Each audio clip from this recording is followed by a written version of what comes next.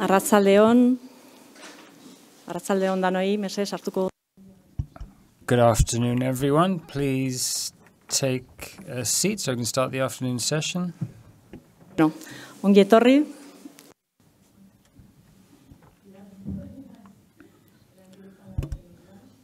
Good afternoon. I work at Ekideta. I'm working humanitarian support. Welcome, everyone. I hope you enjoyed the morning session, and now let's start the afternoon session. There are people connected via streaming as well, so let's hope we have a good afternoon session. Continuing with this morning, where we had a lot of topics, and now we're going to continue to debate on these topics. Just one thing on the simultaneous translation. There's a video in Arabic, so there will be a moment when the Basque Spanish channel will be used to listen to the video that's in Arabic, so you can listen to it, and we're going to translate it into Spanish. It'll also be available in English.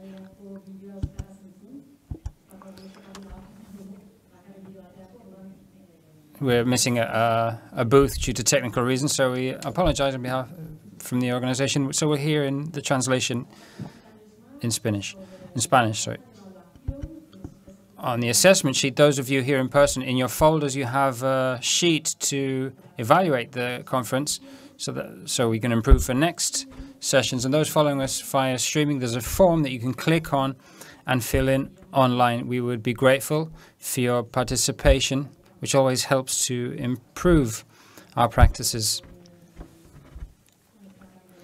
Well, and then also mobile phones. We haven't heard any throughout the day, but please uh, turn your mobile phones off. So now let's start with the afternoon session, which is a roundtable of experiences. And we want it to be a panel where we can talk about all this, the proposals we've been supporting all these years. With this panel, we want to meet three goals. On the one hand, it's to learn about several local organizations from some Basque entities that have been carrying out initiatives supported by Elankidetza over recent years and by Bilbao City Council too. This is a small sample of the social organizations we work, we've been working with in recent years. Another goal is to share and value all the work carried out by these organizations and to learn from their good practices and challenges and difficulties that they face when including the gender perspective in humanitarian action, which is what we're talking about here. And we also want to listen to the challenges and difficulties they face to create a dialogue, a shared reflection. I don't know if whether to look for solutions, but to have clues as to how to progress on this topic. And to choose a, a table for experiences is very difficult because we work with a lot of Basque organizations that work with local organizations. I would have loved to bring them all, but it was quite complicated. So we've made a selection following some criteria. On the one hand, it's geographical. We wanted there to be representation from Latin America, Africa, and the Middle East. We also wanted to, there to be representation of different types of organizations, smaller, more local organizations, international organizations, also UN organizations, and which also had a more or less long track record working with Elankidetza. So in that way, we chose eight organizations, although here you see representatives from four of them, to, well, we asked them to record a video lasting about three, four minutes uh, as a challenge to compile in such a short time all the experiences and difficulties in including the gender perspective in humanitarian action. And therefore, we're going to watch videos from eight organizations. Four of them are here, but others couldn't make it here. Some were able to connect, others weren't. But even so, we wanted to include their experiences. The organizations we chose were HESED from Kenya, which is a Foundation for Health and Social Economic Development Africa, which we have here Eunice as a representative. We'll introduce her later. Irantzu will do the introduction. Then we have the Central African Republic, and we'll listen to the testimony of United Nations Children's Fund. We don't have a representative here, but they have recorded a video. We'll also listen to the Development Support Association Apoyar, located in Colombia. From Latin America, we have here a representative from Costa Rica, the Jesuit Migrant Service. And from the Middle East, on the one hand, we have the Popular Aid for Relief and Development, PARD, from Lebanon. Uh, the representative is here. Later, we'll introduce her. And we'll also have the experience, but though not the presence, of Ondrua, someone who works there, also in Lebanon. From Palestine, we have the Agricultural Development Association, PARC. And also from Palestine, we have another testimony from the Union of Palestinian Women Committees, who, who has also recorded a video. And we've left the original in Arabic, and later on we'll have a translation. On the table, we all, on the panel, we also have Irantzu Mendia. She's a teacher of the Department of Sociology and Social Work of the University of the Basque Country. She's a director and researcher at Hegoa in the research group on human security, local human development and international cooperation. And her work focuses on feminist analysis of armed conflicts, peace building, transitional justice, and historical memory, with a particular interest in experiences such as El Salvador, Bosnia Herzegovina, Guatemala, Colombia, and Western Sahara. And the Hegoa Institute, which is Institute of Studies on Development and International Cooperation at the University of the Basque Country. Its work is the promotion of human development and international cooperation, on the one hand providing research and analysis, documentation information resources, and also university training, capacity building for the strengthening of the social fabric of cooperation, as well as technical advice to public entities and institutions with, Uh, to influence social change. So the dynamic, dynamic will be as follows. Irantzu will make a small introduction of the people at, on the panel. There are four representatives from eight of the experiences we're going to learn about. We'll watch the videos of, from four of them. We'll have a small break in case there are questions. Then we'll watch the videos of four more, and then we'll have a, a more. We'll have more room for questions and so on. The idea is, as you'll see in the videos, there are a lot of topics that are repeated, regardless of the context, and it's be able to look in the see if later on we can have a dialogue and reflection to, to see how we can overcome these difficulties. Well, thank you very much, and the, the floor is yours, Irantzu. Well, thank you, Pilar.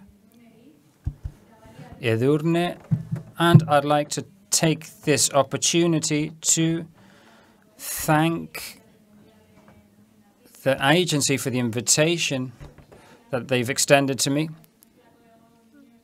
Well, I was a bit scared because I've never been a moderator, uh, unless so on a panel for eight people. So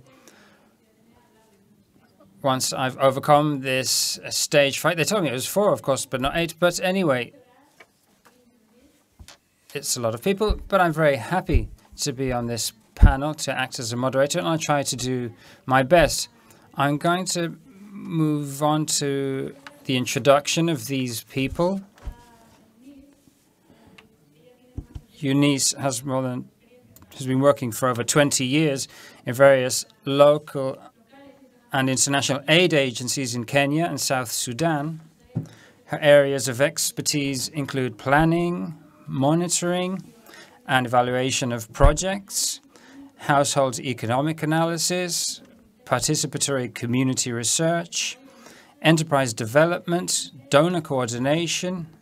You, and you've got a lot of work because I haven't finished community resource management, community health education, and rural participatory methodologies. So I think it's an ex, she's an excellent representative of a practical experience of so many things that we've talked about yesterday and today.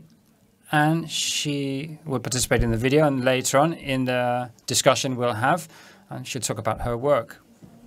Secondly, we have Adam, who I've just met as well, Adam Alvarez Calderon. He's the Director of Humanitarian Action and Inclusion Programs. He coordinates the work of the team and the implementation of direct assistance projects capacity building, and also projects to promote employability and income generation of the people who are being assisted in the Jesuit service. In the video, there'll be another colleague,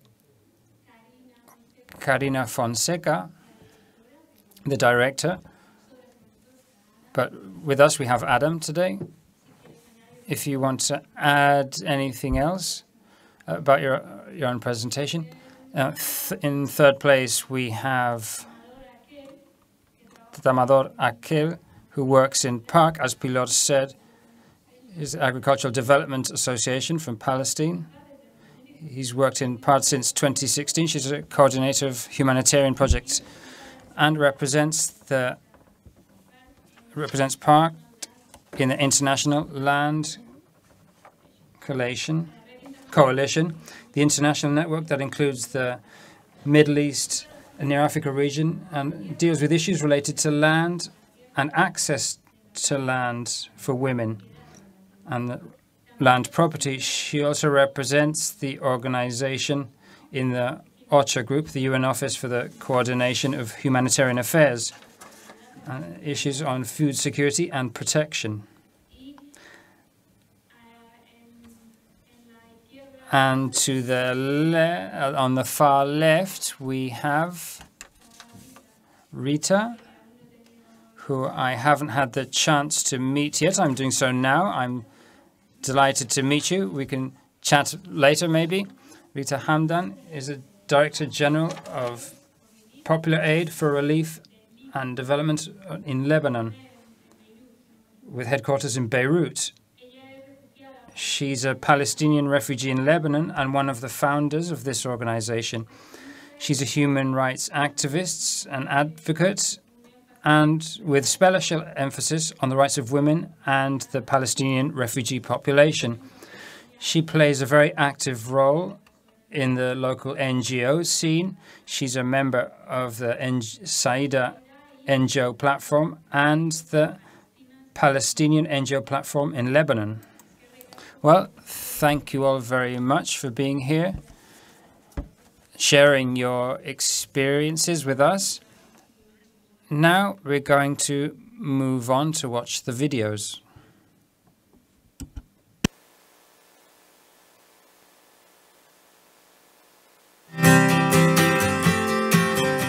My name is Eunice Ngwawe. I'm the Country Director at Foundation for Health and Socioeconomic Development Africa, also known as HESED Africa, initiated in 2007 with headquarters in Nairobi, Kenya.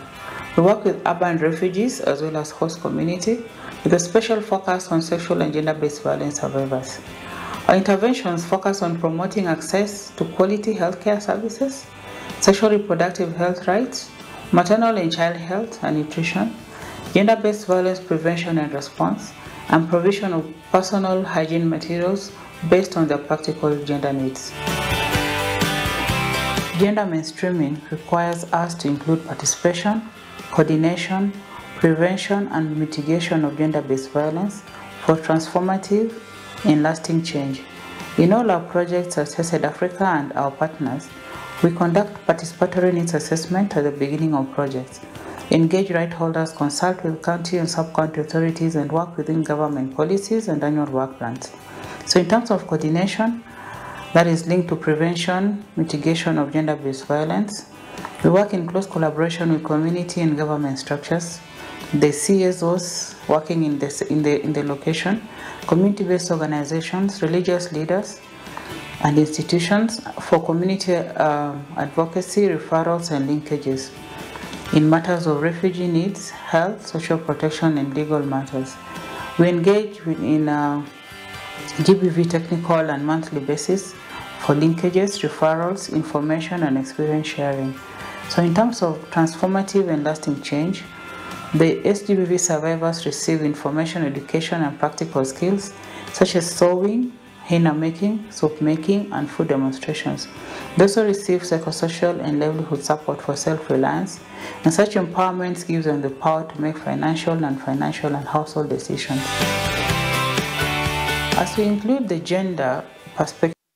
Para incluir el tema del género en el trabajo de todos los días, Tenemos varios retos delante de nosotras y son retos como la existencia de distintas prácticas culturales y normas de género entre refugees and sections of host communities uh, that put unequal expectations on masculinity and uh, femininity in the programs. Therefore, it requires us to engage in lobbying with our community and religious leadership and policymakers. On the other hand, it requires projects to have conversations with men, women, to demystify all the myths on these practices and the beliefs. There's also limited knowledge and capacity among the staff at various levels, at the community, the health centers, the schools, and within uh, the key stakeholders to apply gender transformative approaches in their work. We also have limited capacity in coordination of activities regarding health and SGBV referral pathways and experience sharing among key stakeholders. Such would be the, the police, where we do the reports, local leaders, the schools, health centers, counseling and legal services for the survivors. There's also lack of inclusion of gender lens in planning, monitoring, implementation, and provision of services to the urban refugees and sexual and gender-based violence survivors.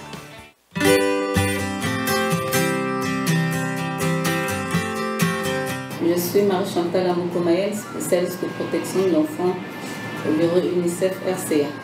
Je suis basée au bureau de Bangui. Le programme protection de l'enfant en RCA appuie le gouvernement. Protection program. The protection program for children calls to the protection of minors in situation of emergency, especially those used in armed conflicts. Our objective is to reinforce the access of girls to programs of recovery and reintegration of those children used by armed groups. Girls are usually used by uh, military people as wives, and sometimes they are used as spies as well. However, in the interest of uh, these armed groups, groups do not consider them uh, children associated to them. So we include them in reintegration programs. UNICEF has found a solution by applying the inverse methodology. This is a mechanism based on the community to identify those children. At community level, these girls become sensi very sensitive about their own communities, what needs they have, if they have awareness about those specific decisions, and see how to find a way to reintegrate them. At global level, before 2012, those girls represented 12% of the children that had been identified within armed groups However, after a community approach by UNICEF, which reduced this percentage of girls associated to armed forces to 5.5% of a, a, total of 17,000 children. The financing uh, terms of the projects have are, are of 8 to 12 months something which is not favoring the reinsertion of those uh, girls since uh, the training uh, lasts for longer than that. Both for girls and for both uh, and for boys, we have to say that in the case of girls, they limit their chances of election of a profession as they usually choose to be hairdressers, sewing, and they do not choose uh, other things, other works like uh, mechanics or carpenters or things like those. And what do boys do?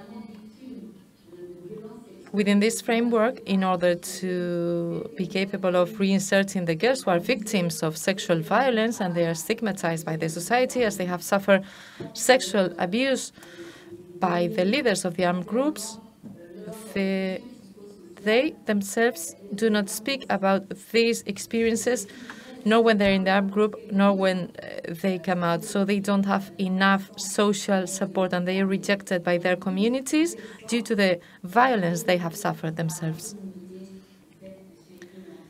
And when they leave, the community rejects them. Soy Gloria Patricia. My name is Gloria Patricia Vergara. I work at the Association of Support to Development, Apoyar, as technical director. Our organization is located in the department of Arauca in Colombia, uh, in the border with Venezuela. We implement social projects with uh, different communities. Principally, we develop the work here in the department of Arauca. We carry out this exercise of inclusion of uh, the gender approach in the work in both in two uh, ways. First, with the teams. With them, we start a whole process with its uh, project team, a whole process of understanding what the gender approach means. And with the communities, based on the dialogue of knowledge, we carry out a, an analysis and see what the gender gaps are within the communities. And in this exercise, we start to uh, bring down all that theoretical concepts and conceptual concept that implies uh, gender issues. And then from gender inequalities, we go down to the particular realities uh, in group by having a dialogue. This is our best practice in the sense of understanding and uh, getting down uh, going down to how to get information about this inequality and working with this group of women. We've been working with them for a long time in the project, uh, in the framework of these projects with Oxfam.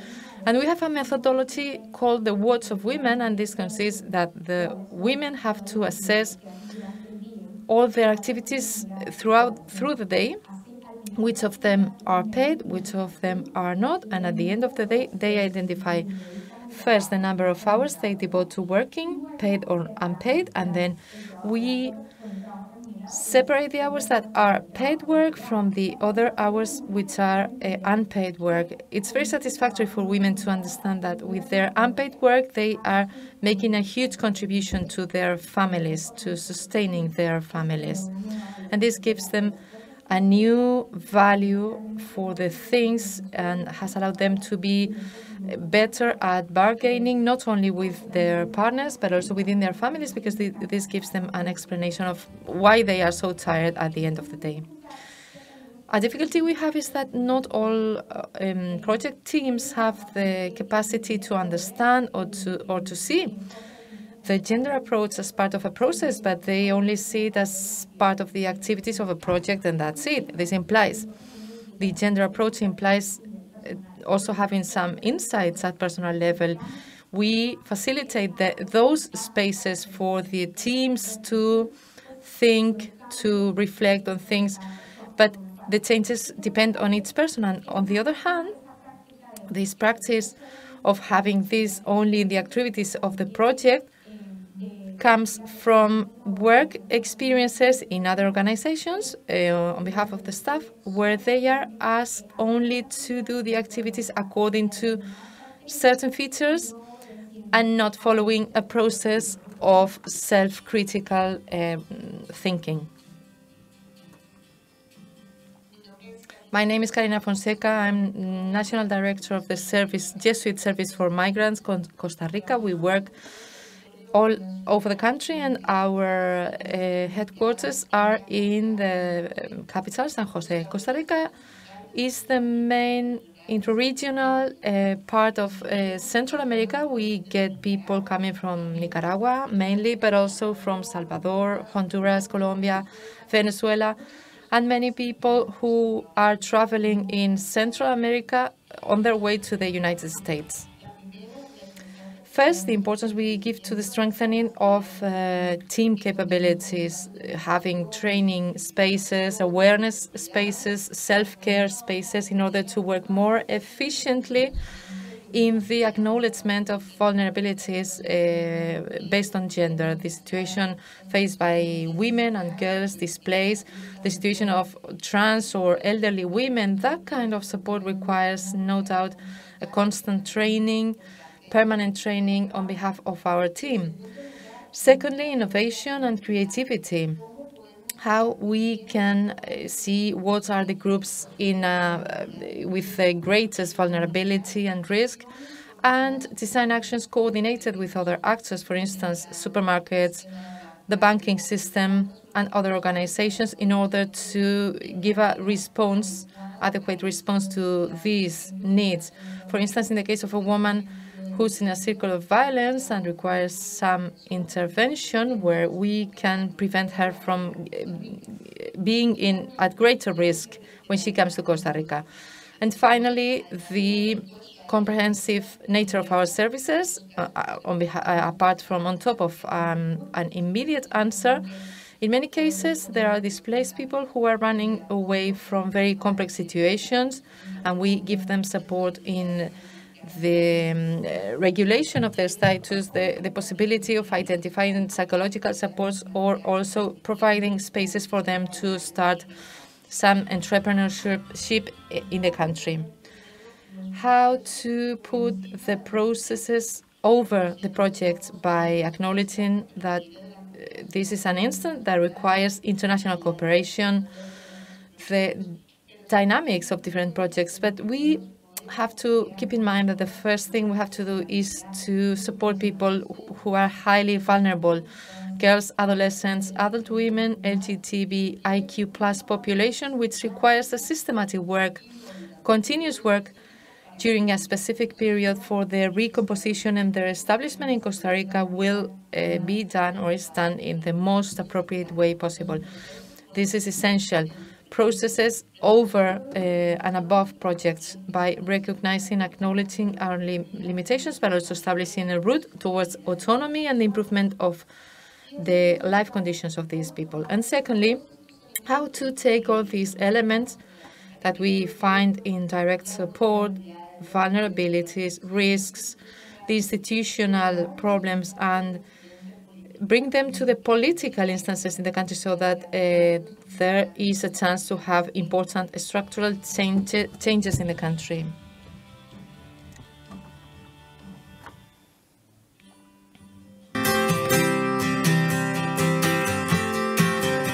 My name is Eunice Ngwawe. Bueno, listo. Eh, hemos... Okay, ready. We've been able to see four presentations here. As Pilar said before, and we've seen it on the video, these are capsules, three-minute capsules. So it's impossible to translate everything you do in such a short period of time. There's a clear structure of the interventions that can help us maybe direct uh, or contact this space because the questions were about good practices, best practices, because it's, it's things that you consider positive and has very good or positive results because they have an impact on uh, the lives of people. Because this is what we uh, are looking for. What's the impact, the transforming impact on the lives of people? With the difficulties, of course, that we sometimes have, and uh, sometimes the actions are done in a very short periods of time. Best practices also because we tend to feel overwhelmed by difficulties, challenges, and there were questions about this as well.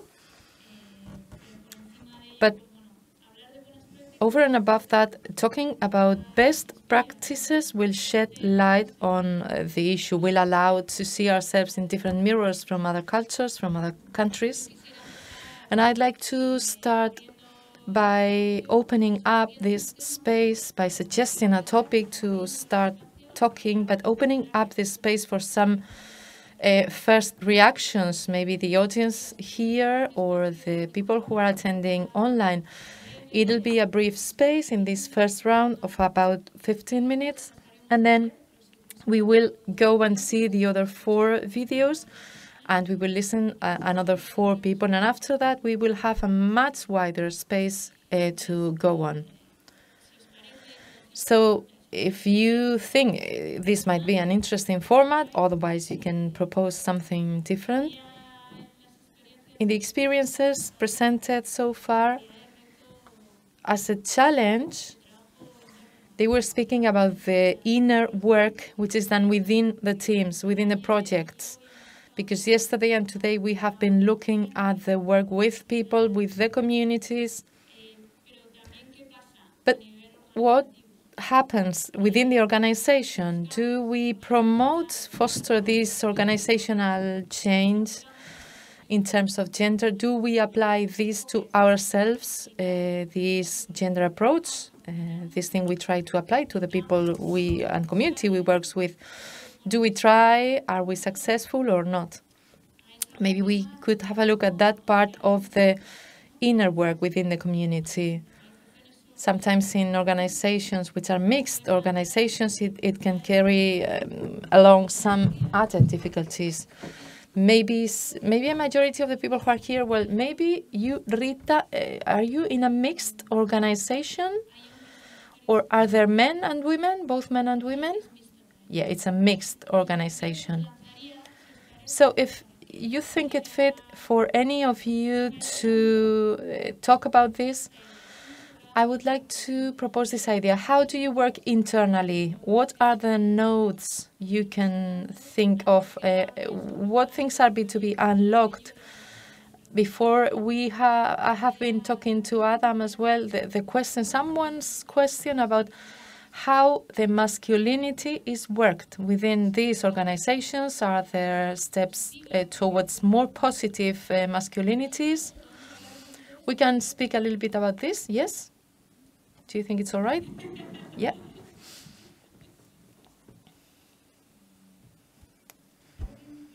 For our situation, for example, in uh, in Kenya, uh, this the, the, gender balance, uh, the gender equality, runs from. I am in the organization. There are the ladies in the organization. We have men in, in the from the board, and also within the working uh, the workings but also key um, who we call the health promoters who work with us in the community structure. And these are persons who are very key because um, they're like our sustainability and also the front line in the community. So we, we purpose to have men really because in the situation, for example, we work in um, respecting the religious aspect where we have uh, information that needs to go to the mosques. So then it is the men who would then use the Friday or prayer time to pass this information. Uh, and so we leverage on the, the, on the strengths of the, of the gender as it plays um, among the staff or in delivering of, uh, of various, uh, various projects. So I would stop there for now in terms of uh, leveraging uh, staffing to, to be able to reach uh, the various populations. Uh, respecting the dynamics of you need to change, change takes time, and also, um, so, so yeah, that's what we really do. Mm -hmm.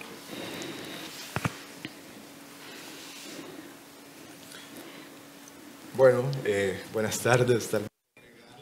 Good afternoon. And based on this question, it uh, came up today at some point, and it is related to part of what someone has mentioned in the videos about the strengthening of uh, capacities for teams. I think there's processes which are differentiated between men and women, and you have to deconstruct a series of ideas, beliefs, practices about how to have a hegemonic masculinity and uh, there, as we know, there's uh, violence structures which are very patri patriarchal. In the case of Central America, and these processes there are slow, are difficult. They cannot be done overnight. And this poses a clear difficulty because the work of the organizations, uh, you have to do interventions where you need to act in a very efficient way and also very quickly. And in the video, someone mentioned that there isn't always a chance to go on to carry on with uh, some processes. And in our case, we've tried not only to involve men who are part of the team and so we can address some specific aspects of transformational change, not only within the sphere of work. It's a construction that applies to different spaces in the houses, at home, with our girlfriends, with our families, with the people we interact with uh, on a daily basis. And how to identify in selection processes some aspects that may be indicators or indicative of, uh, and this is always very difficult to think that in a selection of the staff you can cover everything, the whole range, but we try in order to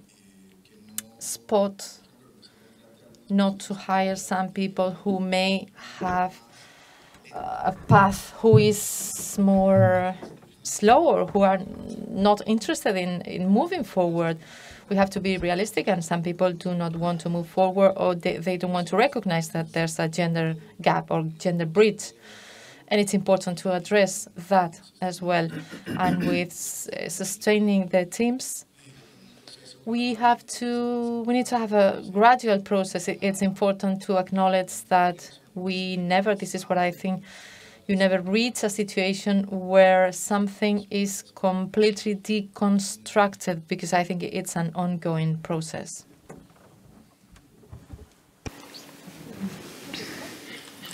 Añado quizá porque también I'd like to add not for you to answer this question now, but but because this may affect our credibility and legitimacy when we go and try to carry out a gender analysis or try to plan uh, based on gender. It's a question of coherence, internal coherence. Okay, Tamador, would you like to say anything? As an organization, PARC is uh, uh, like um, uh, it's not like uh, um, for, uh, working for only for for gender and for women. It's a mixed organization, and gender equality is one of our programs we have, and of course it's cross-cutting a program with other sectors. Uh, but as an organization, uh, we try to uh, to have like a safe working environment for. Uh, for uh, for women. Um, uh, we, we suggest we like in, encourage the not having um, unsafe harass unsafe environment working environment and uh, we try to uh, to have give uh, um, equal opportunities for for women to apply for the work equal equal like salaries uh, between men and women, uh, equal competition for uh, any like job position we have. also trying, not trying, making sure that uh, gender equality is applied for all the programs, all the projects we have. Mm -hmm. Thank you. Mm -hmm. Thank you. Uh, in, in Lebanon, in, in general, uh, the males are more oriented towards uh, private businesses because the NGOs they don't pay high salaries. in general, I'm not talking about international NGOs, local NGOs. Anyhow, uh, but in spite of this, we have uh, uh, men working with us in the organization, and this is good because the, it shows that they have a certain type of dedication towards uh, belief and, and, and, freedom issues, uh, and that's why they come and work in, in our NGO. So it's not the salary, basically. Uh, uh, to uh, gender mainstreaming is going on, of course, in the organization, starting with the bylaws, the internal laws, whereby both sexes are protected against harassment and things like that. Uh, we have, uh, like the rest of the organizations, equality in, in, salaries and opportunities. So it is all there uh, at, the, at the field level, uh, the, the, we have a, a, a, big number of male volunteers. Mm -hmm. So at the organization level, the, the women are the ma uh, majority, but at the volunteer level, we have a great uh, number of uh, male uh, volunteers working with us. So, of course, the gender, uh, anything related to gender mainstreaming, is there at the organizational level and at the program level. ¿A qué atribuyes que hay más voluntarios hombres? Why do you think there are more uh, male who are volunteers? Why do you think they uh, male males volunteer more than women? The, the reason behind this is not good. the, the majority of the young people with, with whom we are working, and the target groups, they don't find work because they are refugees. And secondly, they don't have many opportunities uh, uh, to find the work or, or even to continue their uh, education. So, so they are sitting there around, you know, in, in, the, in the target areas.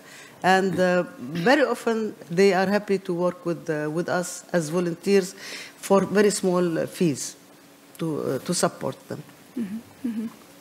Gracias a los cuatro. Sí me gustaría, si Thank you to the four. If in the room there are people from lots of organizations, I'd be, and if you want to share anything related to this,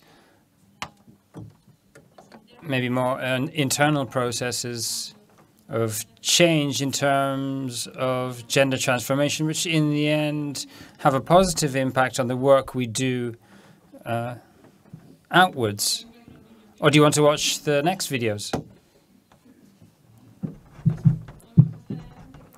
Well, so we can carry on with the videos because later we'll have a space for listening, a bit, a bit of a more a broader space to to talk about this and other issues.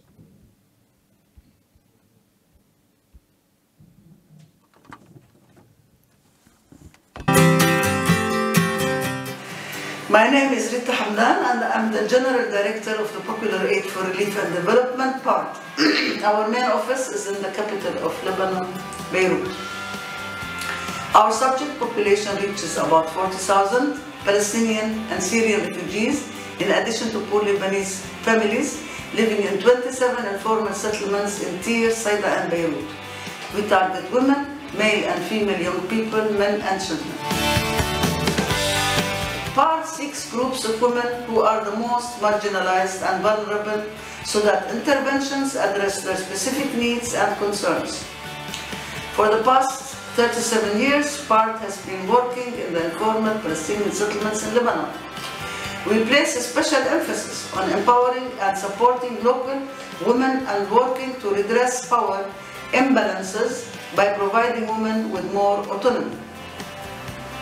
PARD has developed a comprehensive training program that aims to strengthen the women and youth communities in decision making and problem solving. They acquire basic skills in managing, planning, and implementing activities related to their own needs and the needs of their families and communities, and in advocate, advocating and lobbying uh, for their rights as women and youth and as refugees. We should clarify that Palestinian and Syrian women refugees in Lebanon lack access to rights and to equitable development, assets and sources of income, even within their own communities. Female refugees face double discrimination, externally for their refugee status and internally for their position as women. Not only barred from participating in Lebanon's politics, refugee women also find themselves excluded from participating effectively and democratically in the Palestinian popular committees, which are the internal decision-making bodies responsible for the overall running of the Palestinian camps and informal settlements. The women committees in these informal settlements differ from the popular committees for several reasons. Firstly, the popular committees are composed of almost entirely men who are appointed by political parties. These communities and, and the popular committees themselves were not originally very open to the idea of women committees. In fact, in most informal settlements, there is a heavy competition over governing authority because while the popular committees are the technical governing bodies in those communities, practically, practically the women committees have more influence in some places.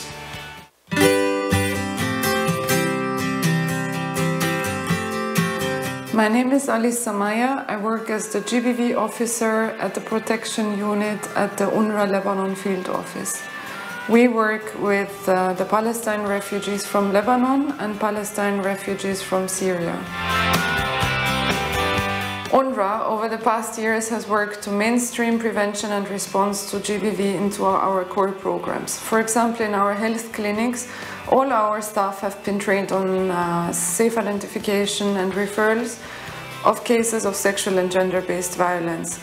And since we are aware of the strong links between uh, GBV and mental health, we have included GBV in our mental health program uh, by, by uh, including GBV into the mental health screening that is done with uh, most of our patients. Recognizing the link between GBV and mental health, we have also engaged uh, men and women in the community on psychological support group sessions in order to strengthen their resilience and to address root causes of violence.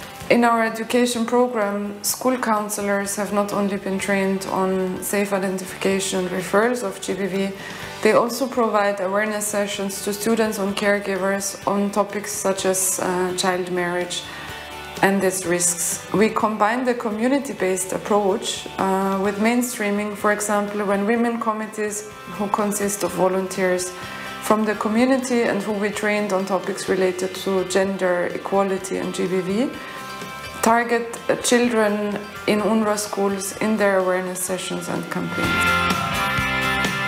COVID-related lockdowns and an increase in protests due to the economic crisis with road closures, fuel shortages, electricity cuts, closures of our installations due to violent incidences have caused severe disruptions of our uh, ability to deliver services and implement our activities. This means that we have to constantly uh, readjust our planning and mitigate the impact that this situation has on our population, on the population we serve, and, uh, and our services, our activities. Uh, for example, during the first COVID-related lockdown, we shifted uh, most of our work to online modalities and reached people through WhatsApp or other channels. Being aware of an increase of domestic violence uh, during the lockdown, we have uh, shared hotlines of child protection and GBV and mental health uh, NGOs and as well our own hotlines with community members through WhatsApp through and they we share them uh, with with other community members.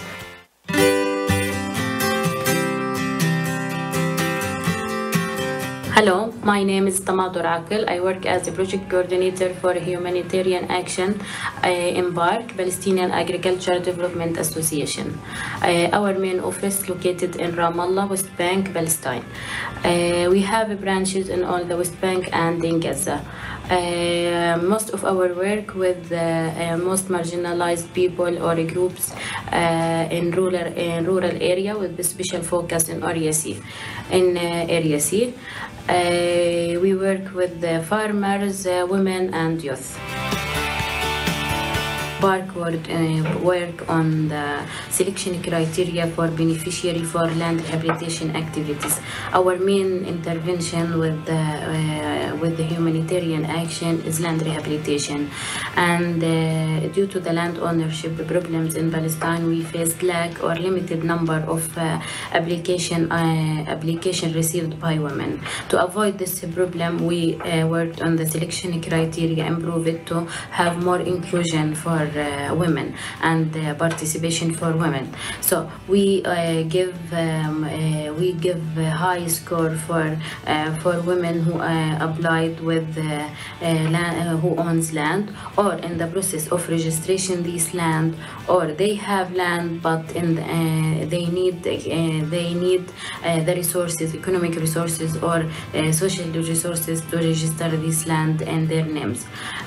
also, we give higher score or uh, um, a balance for uh, for women who can prove that they are the main uh, provider, the main provider for their families, even that they don't have lands. The second good practices we have is the the CPCs, Community Protection Group, which is a balanced gender groups consist of 15 to uh, 20 members working together in serving their community voluntary. Uh, these groups have uh, um, participated or usually participating in uh, capacity building programs, trainings, providing them with some equipments needed to do their services. Uh, these capacity building programs are uh, documentation, human rights uh, laws, uh, human the rights of people with disabilities, and other trainings. In, through this uh, CPC, we insist about uh, and taking care of women participation, and this was uh, useful through the the COVID lockdown in 2021. Uh, the role of women was enormous in helping their communities. Also, uh, the role of women are obvious in uh, uh, the local committees for the project and uh, other uh, services. In Palestine, land ownership is uh, mostly owned by men and women ownership is low. Uh, the, the latest statistic shows that women uh, land ownership is uh, uh, 3 to 5 percent, uh, almost 3 to 5 percent. Even so that the agriculture sector is the most or the largest employer for women in agriculture with almost uh, 35 percent, uh, 5 percent of women working in the agriculture sector. Meanwhile, the, the land ownership or agriculture land ownership owned by women 6.7. This shows that the, uh, that the largest or the biggest uh, own uh, belongs or owners belong to men. Uh, the second obstacle we face in our work is uh, women participation in different activities uh, such as uh, trainings, uh, workshops, uh, exchange visit. Uh, due to different uh, factors such as social factors, religious and uh, economical factors. Uh, and mo- uh, not in all communities we face this, but in the most uh, strict and conservative community we face this most than other.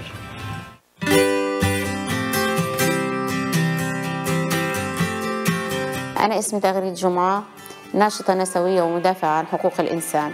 رئيس مجلس إدارة جمعية عايشة لحماية المرأة والطفل وعضوة متطوعة في العديد من الجمعيات.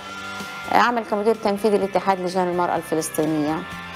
شاركت في العديد من المؤتمرات الدولية والمحلية. وقدمت خلالها العديد من أوراق العمل والندوات حول أوضاع المرأة الفلسطينية ومعاناتها والحقوق المسلوبة للنساء الفلسطينيات. استطعت تجنيد العديد من الأصدقاء من خارج فلسطين لإيصال صوتنا ومعاناتنا تحت الاحتلال ودعم ومساندة المرأة الفلسطينية. تشكل تدخلات العمل الإنساني في الأوقات العادية وأوقات الطوارئ من منظور النوع الاجتماعي أحد الركائز الأساسية للاتحاد حيث يسعى الاتحاد من خلال التخطيط وتحديد الاحتياجات والتنفيذ إلى مراعاة إدماج النوع الاجتماعي وفق الأسس الأممية لا سيما المعايير الإنسانية الأساسية والمعايير الدنيا للإدماج.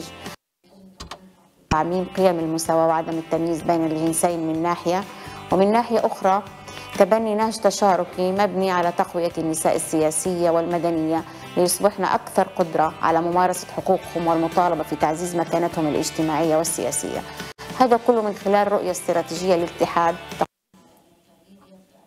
ومن النساء في مجتمعات ما زالت النظرة والمفاهيم الذكورية تشكل المساحة الأكبر The other great challenge is the fact to have to live under the military occupation, which involves a scenery with uh, killings, detention, and a high rate of unemployment and lack of opportunities. In this context, there's instability and unsafety for women, children, and girls, and this has a direct impact on their psychological and health states, as well as on the progress at all levels.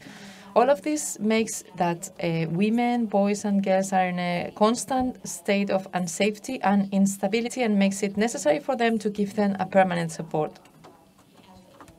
نفسية وصحية. ثانيا الحصار المفروض على قطاع غزة مما يعيق من حركة النساء وقدرتهم على الخروج من غزة وخاصة النساء اللواتي بحاجة إلى علاج في الخارج. وهذه الأوضاع تؤثر على التقدم في أوضاع المرأة على جميع المستويات. الأوضاع الاقتصادية. ارتفاع نسبة البطالة خاصة في صفوف النساء حيث بلغت البطالة بين النساء في السنوات الأخيرة 40% من مجموع نسب البطالة وهي النسبة الأعلى في صفوف النساء عنه في الذكور. القوانين التمييزية ضد النساء والتي تصادر حقوقهم الاجتماعية والصحية ولا تحقق المساواة بين الجنسين. إضافة لذلك أن مجتمعنا هو مجتمع ذكوري يقوم على التمييز بين الجنسين. كل ما سبق يجعل النساء في حالة من عدم الاستقرار وعدم الأمان والحاجة الدائمة إلى الدعم والإسنان.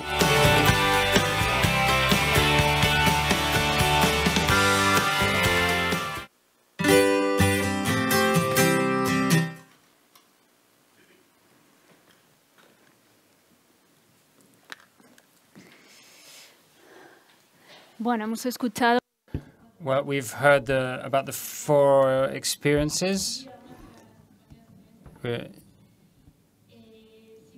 Uh, so I would like to return to another issue that's a common denominator that and ha that has arisen in several experiences this afternoon, and also this morning, and it's that of the demand for their own spaces for women.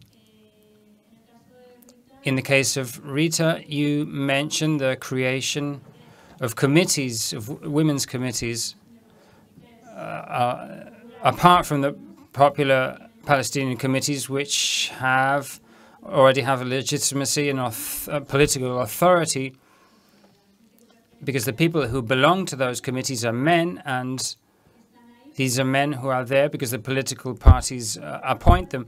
But you talked about how women's committees having their own spaces, and in certain areas they have even more influence, you say.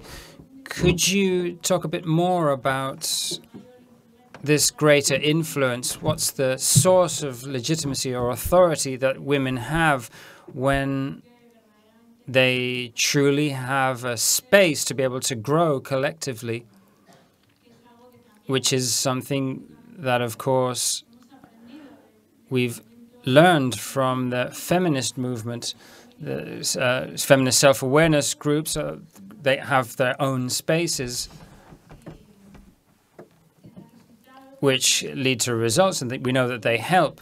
So what's your specific experience with these committees? Why are they more influential?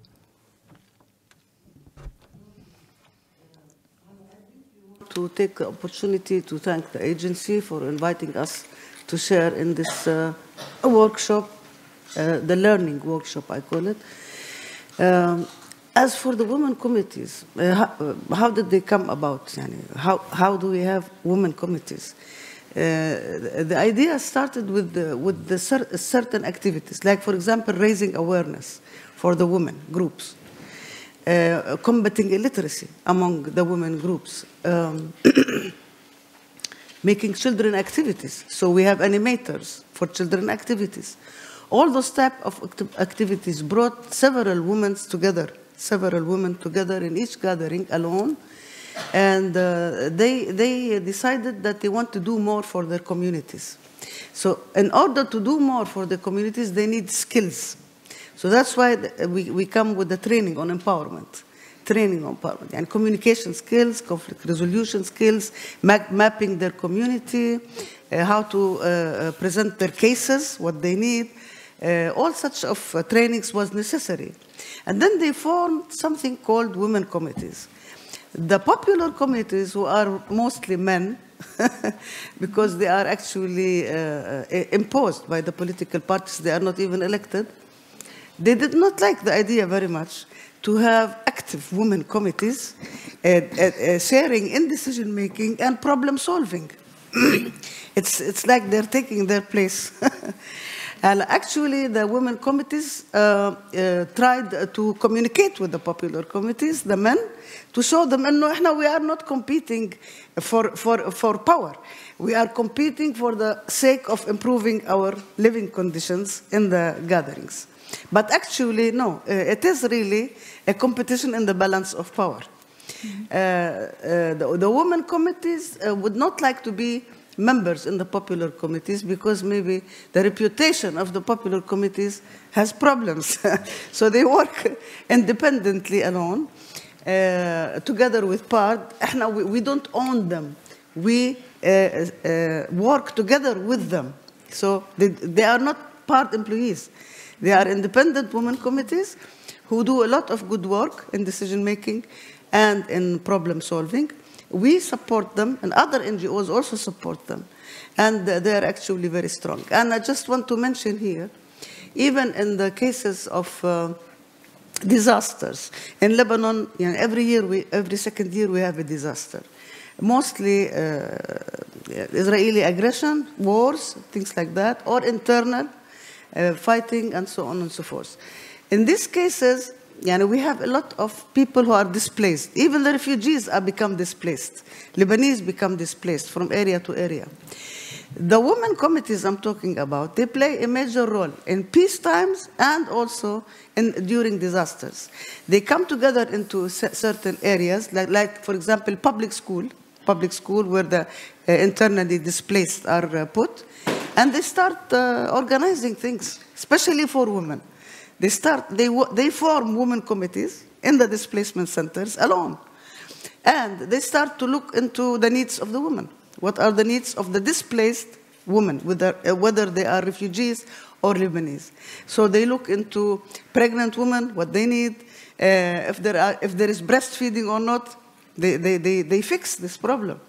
Uh, they make sure that women have separate toilets, that they are clean. They do everything needed for the displaced people as uh, women committees because they have this experience before they became uh, displaced. So in peaceful times, they are very active, but also during disasters, they are very active. I wanted uh, to highlight uh, this point. Mm -hmm. I hope I answered your question. Sure, you have. Thank you so much. I think you want to speak. Yeah, I was going to share some like uh, good practices for uh, the women participation in public spaces uh, we apply. Um, like in addition to but what uh, do, we have a consortium called an action group, consists of three organizations. Um, we have VAG, which is uh, more related to WASH activities. We have VACCW, is more uh, organization with psychosocial support. As a consortium, we work together, uh, of course, with uh, our Spanish uh, organization or international SBB. And it, it, Mostly our work, uh, like for PARC, focus on livelihood and uh, food security activities like land rehabilitation. Uh, so before uh, like implementing any project, we do the assessment, which is uh, contain like focus group with women, and with women alone, and we have focus group with mixed mixed group like men and women to have their opinion about to about the needs they want.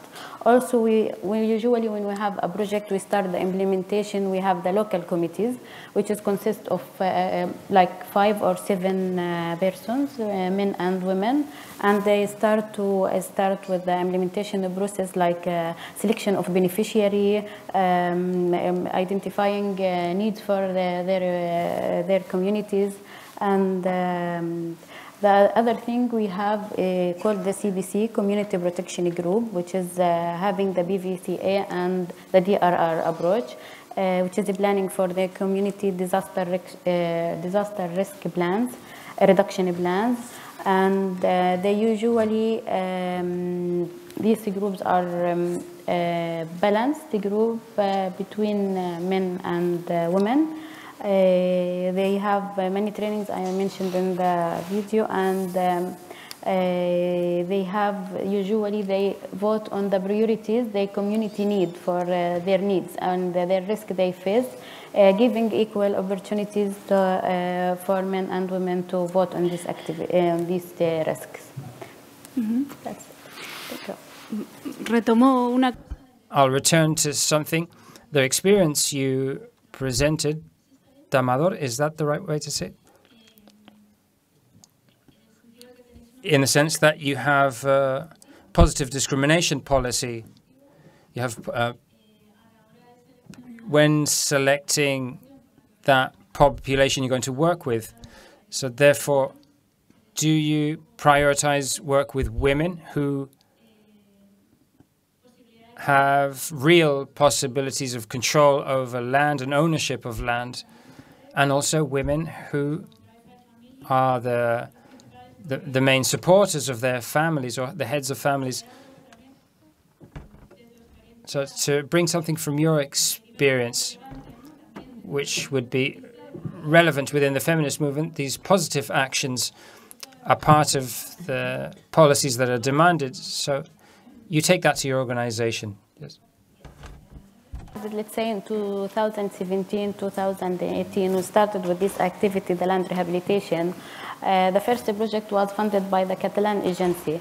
Uh, when we have started selection the process for uh, uh for beneficiary, we received more than 100 application form to get benefited from this project, and we discovered that uh, we have like five or six uh, application are submitted by women. Uh, so we um, as um, we, the uh, meal department we have and uh, our team, the project coordinators, like gather together, gather and start to like review the selection criteria. What's wrong with the selection criteria? And we discovered that we are focused about the ownership for lands. And the statistics showed, showed in Palestine that land ownership is mostly by men. Uh, the work done by women, but they don't own uh, the land. Uh, and this was before uh, the project uh, launching. There is a project launched by the government in Palestine called the Tabo, which is registering the land in their original owners, which is, I don't know if you are familiar, like religious, Islamic religious, is it is that the, the women uh, have uh, the half of the share of the men. So like uh, two women will have the same, um, will have uh, as um, one man. So uh, this is giving even it's like uh, even not giving like, equal uh, opportunity for women to have uh, their heritage, but at least they have an opportunity to have a priority a property owned by them. so the government started this project in 2018, and now statistics shows that there is a difference. Uh, there is higher uh, percentage for women for lands owned by women, but until now we don't have any statistic released by the government to show numbers. Uh, but according to our experience, if you want to compare with the first project we have, like in 2017, we have 2 to 3 percent women participating in our project. Now we have almost 16 percent of, uh, of uh, women participation or benefited from this project. So one of the um, positive discrimination uh, mm -hmm. criteria. Mm -hmm. O sea que hay además una So there's also a cause-effect relationship between taking the measure and the results you get, in the sense, yeah, see. I'd like to highlight three very uh, particular examples and maybe dealing with some of the more general topics that Karina mentioned on the video, and they are related also to the question that has been uh, coming up and with the direct participation of people in the decision-making process, not only uh, participating as bene beneficiaries in, in the projects. And I'd like to highlight this because this took place in the framework of support with uh, the Basque government. And I'd like to use the, this opportunity to thank them for uh, their support to people in Central America. Uh, the first example has to do with something that Karina mentioned in the video. She mentioned something about supermarkets, and maybe it wasn't very clear what she meant when my female colleagues start talking to women, and we have to understand that the dynamics of uh, bringing people to Costa Rica is different from other contexts because there's a historical migration from population from Nicaragua, and there's a very big community of uh, Nicaraguan uh, population, but there's also a, uh, a, number of other nationalities. But in particular, with women from Nicaragua, and some from El Salvador. My female colleagues could spot that giving some cash uh, support in order to cover some costs or to cover some uh, food expenses, it was not necessarily a good practice because several of these people came to Costa Rica and they were uh, they had uh, they were staying with someone they know, with some friends, with some relatives, someone their family in Nicaragua knew. So in the emergency, they uh, get these people in their house, but they also have some conditions. For instance, they had to contribute uh, money in order to buy food.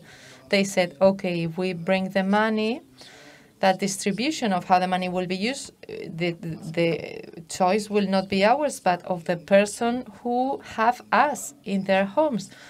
And uh, when we ask them who is the one who ultimately makes the decision, it's usually other women.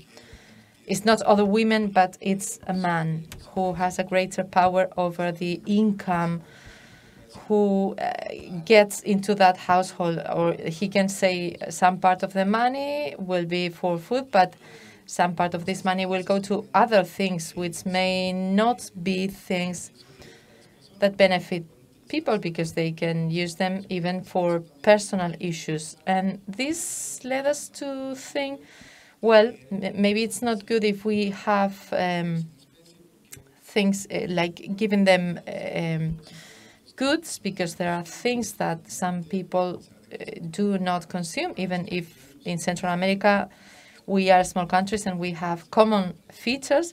But of course, there are differences and we have to respect them.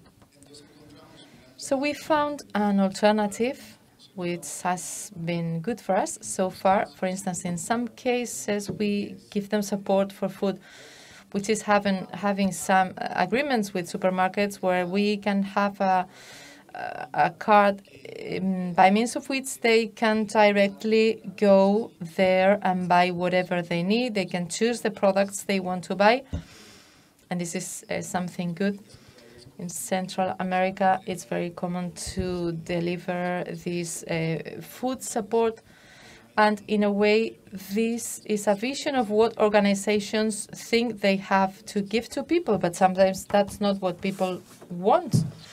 And I'm linking this with the topic of the supermarkets, and I think this is related to how we can incorporate the good practice of listening to the people and of acknowledging their needs.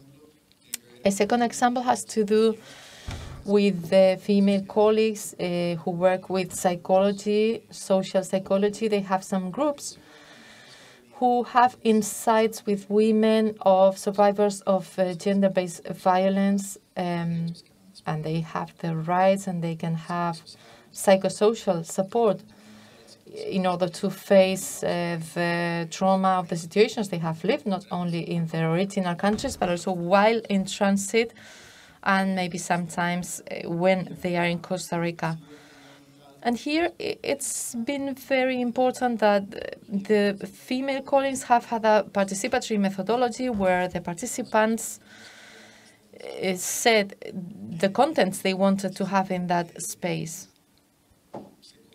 which may not be necessarily the ones that the organization had planned. And obviously, in projects, and this is quite difficult as well to, to bring into the projects in their uh, comprehensive spirit, sometimes we have to uh, see if uh, there's something important for the organization.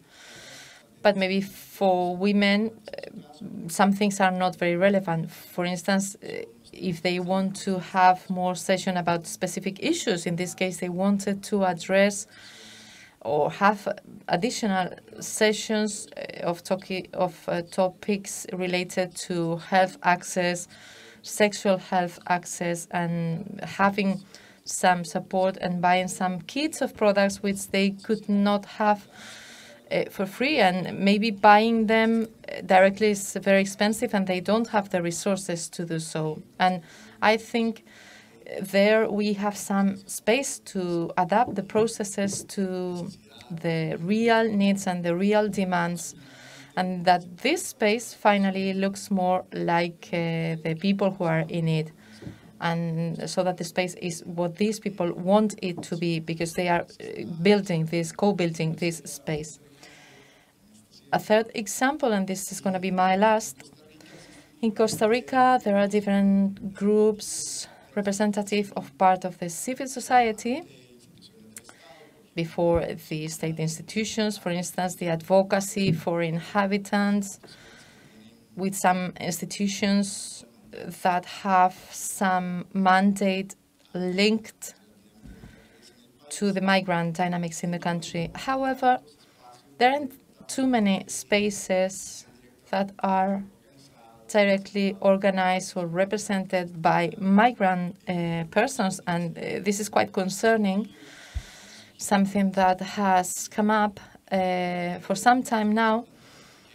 Uh, why in these spaces we cannot have some of us? Why does it have to be always the people working in the organizations or people sometimes who do not even work in the organizations and belong to the UN? and have a more strategic level or vision, uh, and they don't have much contact with people in uh, on a daily basis, and so understand more their sort of community inclusions. Uh, and in this sense, something we have developed is the creation of a citizens' council against uh, forced displacement. We know this is relevant.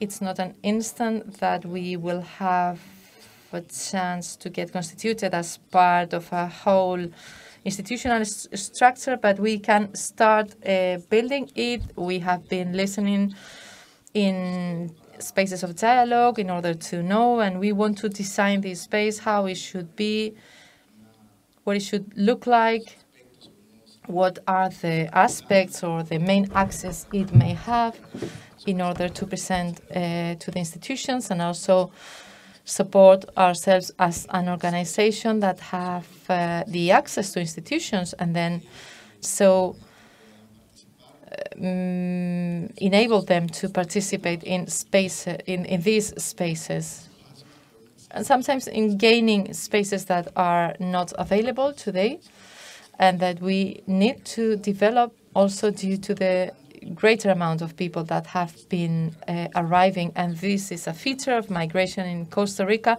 It's a non-temporary migration. In many cases, it's a permanent migration for several years. Currently, given the possibility of many people to go back to Nicaragua with a dictator regime, it makes impossible for many people to go back there, even if they would like to, because they their life would be in danger. And we have this issue of the citizen council. We are uh, discussing about the term itself, but the, this element of citizenship is key because we, uh, regardless of uh, whether you're a migrant and regardless of your nationality, you are a citizen, and this is very relevant. And this is something that has to do with borders in a region like Central America, where there are many peoples that link all of us there. Well, I'm, I'm uh, picking up on this you have said because this brings me back to a conversation we've had while having lunch, Eunice, and then the colleague from Farmamundi, Begoña, and Shune, who's in, the, in here about contexts. I was wondering how determining the migratory policies of countries are, how relevant they are, the relevance of having increasingly restrictive laws when they are not directly repressive laws, the impact it has on the work that is carried out. And I, I was asking Eunice a question because these very restrictive policies, like the ones in Europe, uh, account for societies that are mm, not very solidarity, don't have much solidarity when welcoming other people. And I was asking about the case in Kenya and the work they are doing in Nairobi from HESED, how society perceives these people who come from Congo, who come from, she told me, from Ethiopia, sorry, from Somalia, I think you mentioned, how that um, welcome is from a social point of view. Thank you very much. And apart from that, uh, I would like to add, because in Kenya at the moment, I think best even in the global um, uh, sector, we have the what we call the CRRF. Uh, this is where we want uh, durable solutions for the for the refugees, and uh, one of the solutions is settlement within the countries uh, where they are currently living in. So through lobbying with other um, refugee working groups uh, led by the UNHCR, we, uh, there are processes that are ongoing. And uh, looking at, uh, we mentioned transformative change uh, from the whole morning and yesterday as part of the one of the approaches that we really need to encompass. And uh, listening to the other panelists and the stories, we realize there's that part of uh, income generation, uh, the farming, um, some income coming to the table, improvement of the livelihoods of, of these uh, the refugees or, or at risk or the already vulnerable.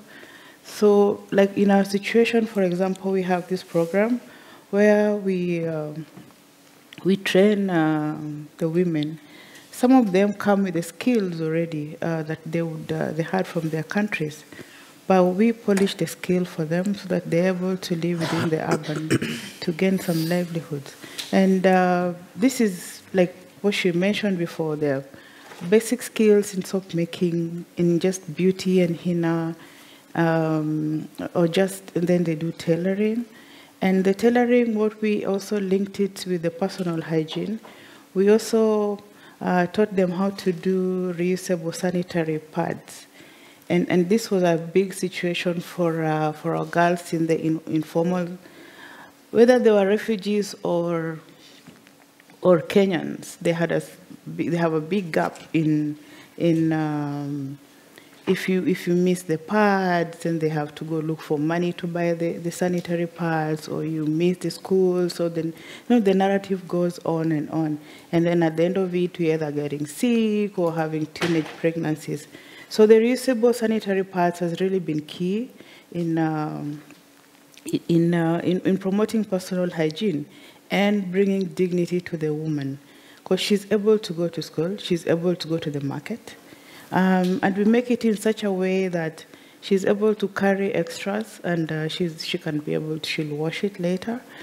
Um, some of the moving stories we do have when we are doing such, uh, such distributions is uh, a girl who comes and tells you that in my dignity kit that you're going to give me, um, I have a school I'm going to, but I really don't come back home every day. So I really, I really like that uh, you can give me, if you're giving one, can I just have two? Because then my life is going to be so so comfortable in school. I get so embarrassed during the time when I'm, I'm on my periods. So if I have this, really, it's going to change my life. So these are things that um, you, you, you're, you're one-on-one with the, with, the, with the girls, for example, to give you such a, such a situation. And the women who are also doing this, they're going to make income from it. The skill they're going to learn um, as we teach them reusable part making, they learn the sewing skill, which then they make the other clothes that they sell to the women um, in, in, their community. So we have, um, through Farmamundi and the other the funders, we have grants for them to, to do, to start the startup kits so that they're able to save. They have very nice stories of how they're able to save their own money and make the decision. We're talking about control here. Who is making the decision about the money that you're getting? She's able to make the money, the 300 Kenyan shillings, this is three euros or less. She's going to make a decision on, am I paying school fees or am I buying uh, some dress for the babies? Am I buying the uniforms? Because sometimes even that uniform is a hindrance for the child to go to school. And one of the things that they're also adding to the, to, to the whole story is I'm able to save some little money. And, and saving some little money in, in, in the economics part is really good because then um, um, you're developing your coping mechanisms. You're able to, to have this money, and, uh, and, and I know at the back of my mind, this is a backup for me. Because we have the same women in psychosocial support groups, like uh, some of my panelists are mentioning. So these women have these therapy groups too, that they work, uh, they, they meet with the counselors every, every other two weeks. Uh, later on, we'll uh, graduate them to meet every month just to talk about other things. So they have this support group which uh, lines out their stressors, which would be just lack of the lack of money. Then they have this group where they have been trained in skills and they're able to, to use that to make some money and she's able to, to run and, and being able to pay. So w- when we put, put all these, uh, we are seeing uh, transformation um, in, the, in, the, in, the, in the whole lineup where mentally uh, she's, she's getting uh, sorted out. Um, she's getting some income for this, for her reliance and the self, um, for, for the livelihoods. And the same woman is in a support group where, where she's able to, to also work with the other women. And, and, and those, those, those groups are very key because we also have uh, refugee-led women groups that are in Kenya. And, and this, as an organization, also we, we find it very easy because when you go into a community, an organically formed group, uh, based on the other group dynamics that we, we have, uh, it would be easier to start and work with them. So they already formed, they had a purpose, and when you, you, you find such, then we use the existing structures to, to have um, to, to run and to, to get the projects uh, running. One of the good policies that uh, has come uh, and is being implemented really well in our situation is when the women uh, had reached a stage where they are working and saving money, then because of their refugee status, for example, and uh, the banks only identify with the national identification. Um, so what happened is there's a lot, lot of lobbying where they, they would um, then use the refugee mandate to open bank accounts. So then they were able to, to open um, a bank account with certain bank, a specific bank, which has gone through and understood their mandate. So they're able to save their money in their name. Because otherwise, what happens is we have in Kenya what we call an M-Pesa system, where money is on your phone. Then, because I don't have a national ID, then I would register it in, um, in his name. Um, then, when the money comes, he, okay, it will be in his name, for example, um, so that I can save money. But it depends. Maybe the one day he's not in uh, talking terms, and he can take the line, or so then the line is closed with all my money that I've saved in it. So that, that is also giving power to them, uh, positive policies uh, that are that, are uh, used, um, lobbying, um, coordination that is that is that happens in, in, in programming, and this leads us now to. Um, yeah, working in the private sector, working with the other sectors. So the coordination teams are very good uh, in sectoral, thematic, because then we're able to, to work really along in, um, in, in situations like this, uh, where we lobby, they get their, they can save their money, uh, they can have bank accounts, and um, yeah, so, so that really, really works. And of course, in the coordination uh, working groups, we have various organizations doing other legal aspects, and, and so we're able to also internally do a lot of referrals and linkages um, among, among the, the clients, depending on their needs. So that has really also helped us a lot eh, as a best practice in Kenya as we, as we work with, uh, with the urban refugees coming uh, to live in, in Kenya. Ujú. Yes. Ujú. Es que ricasco, Eunice. Esto ha sido un ejemplo de que yo no he hecho la pregunta relevante, yo creo, porque le This is an example of uh, I didn't make the right question because I was asking about uh, migrant policy, but it was also very important that Eunice told us about these experiences, the importance of the economic autonomy, generating income on behalf of women.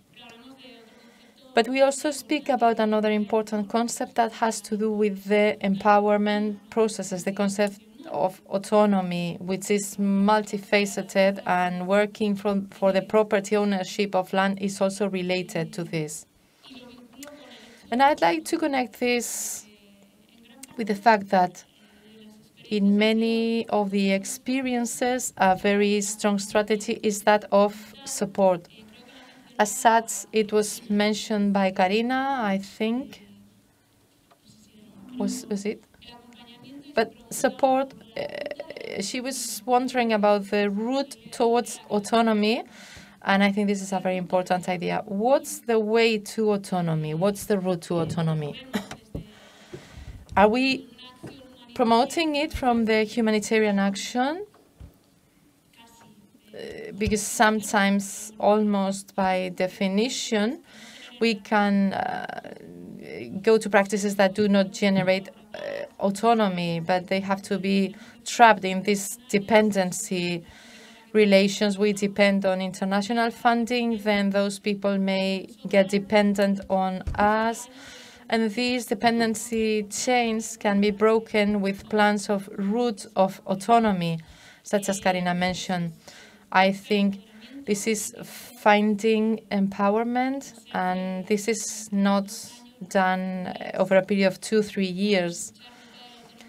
And if I hear this route to autonomy, we have some reference here in the Basque Country. We have the route to change, and it was a video about the process in Nicaragua with an organization of women, and it, it is something I use in my lectures in order to translate this idea of empowerment. It's a process of about 12 to 15 years, and you see the results in the long run.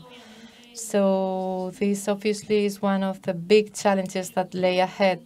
But how do you see it beyond beyond the projects? How do you see the aspect of a process? The organization Apoyar from Colombia, and Karina mentioned this before as well. Processes over and above uh, the projects what are the routes to autonomy, which is what we should finally aim at? Can we use the tools we have, or they are not useful anymore? Podéis contestar, contestar lo que queráis. You, you can answer whatever you want.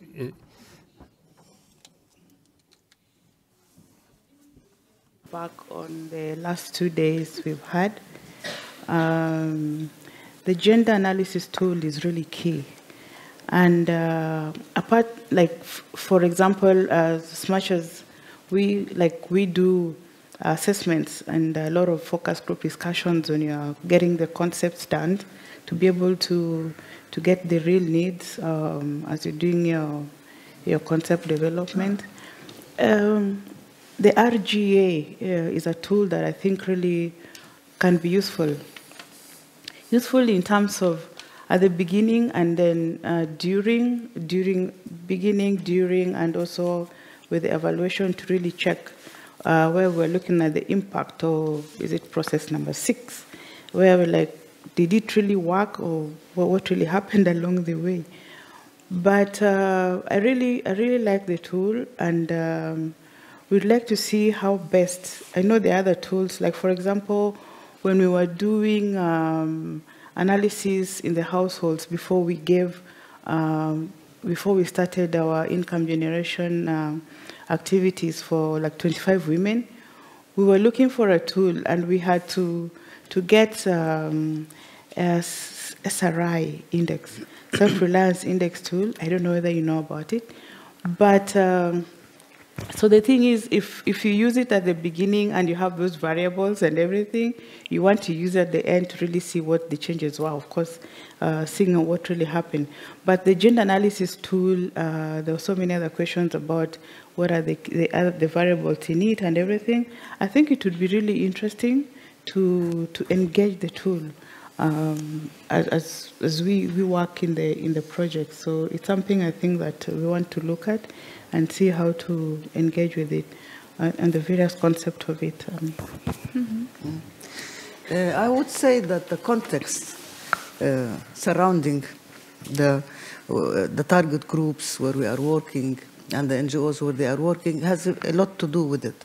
So if you want, uh, um, at the official legal uh, levels, it depends if the government gives certain rights uh, to the targeted woman or, or not. For example, in the example of Lebanon, no. The Lebanese government does not acknowledge any rights related to the Palestinian refugees and to the Syrian refugees. Uh, the, Palestinian refugees have uh, enjoyed uh, this status for, 60, for, for, for 74 years. I think they are maybe the only people in the world who are still refugees since 70, yeah, 74 years. So if the government, uh, the host government, if they don't uh, acknowledge your rights, it means you are deprived if, to the right to, to, to, to work, the right to ownership, and those are all problems that hinder any projects, especially income generating projects or economic projects, which might help those people if they had the rights, which they don't. So that context is very important. Uh, in order to, to solve the problem, uh, uh, yani there is the possibility of training courses so that they improve their situation, but at, at the micro level. Yani small project, like for example, how to make soap, شو اسمه how to preserve food because also in the economic situation in Lebanon is terrible. Uh, so if they can preserve their own food, which they eat, or maybe sell it in the market. Those are possibilities, and we're working on it. There are other ideas, but you cannot make big projects with no rights, not, not especially the right to work. Uh, and, and this applies for both target groups we are working with, the Palestinian refugees and uh, the Syrian refugees. So the context is very important mm -hmm. also on how you program your uh, uh empowerment projects. Mm -hmm. Mm -hmm. Thank you. Kieran, yeah. I, uh, I think the right-based approach should be applied here for uh, for planning any project or intervention or using any tool and um, um, uh, sorry what also the let's say uh, the multi-sectorial approach uh, sorry the multi-sectorial approach. Multi-sectorial. Approach. It could be also uh, useful.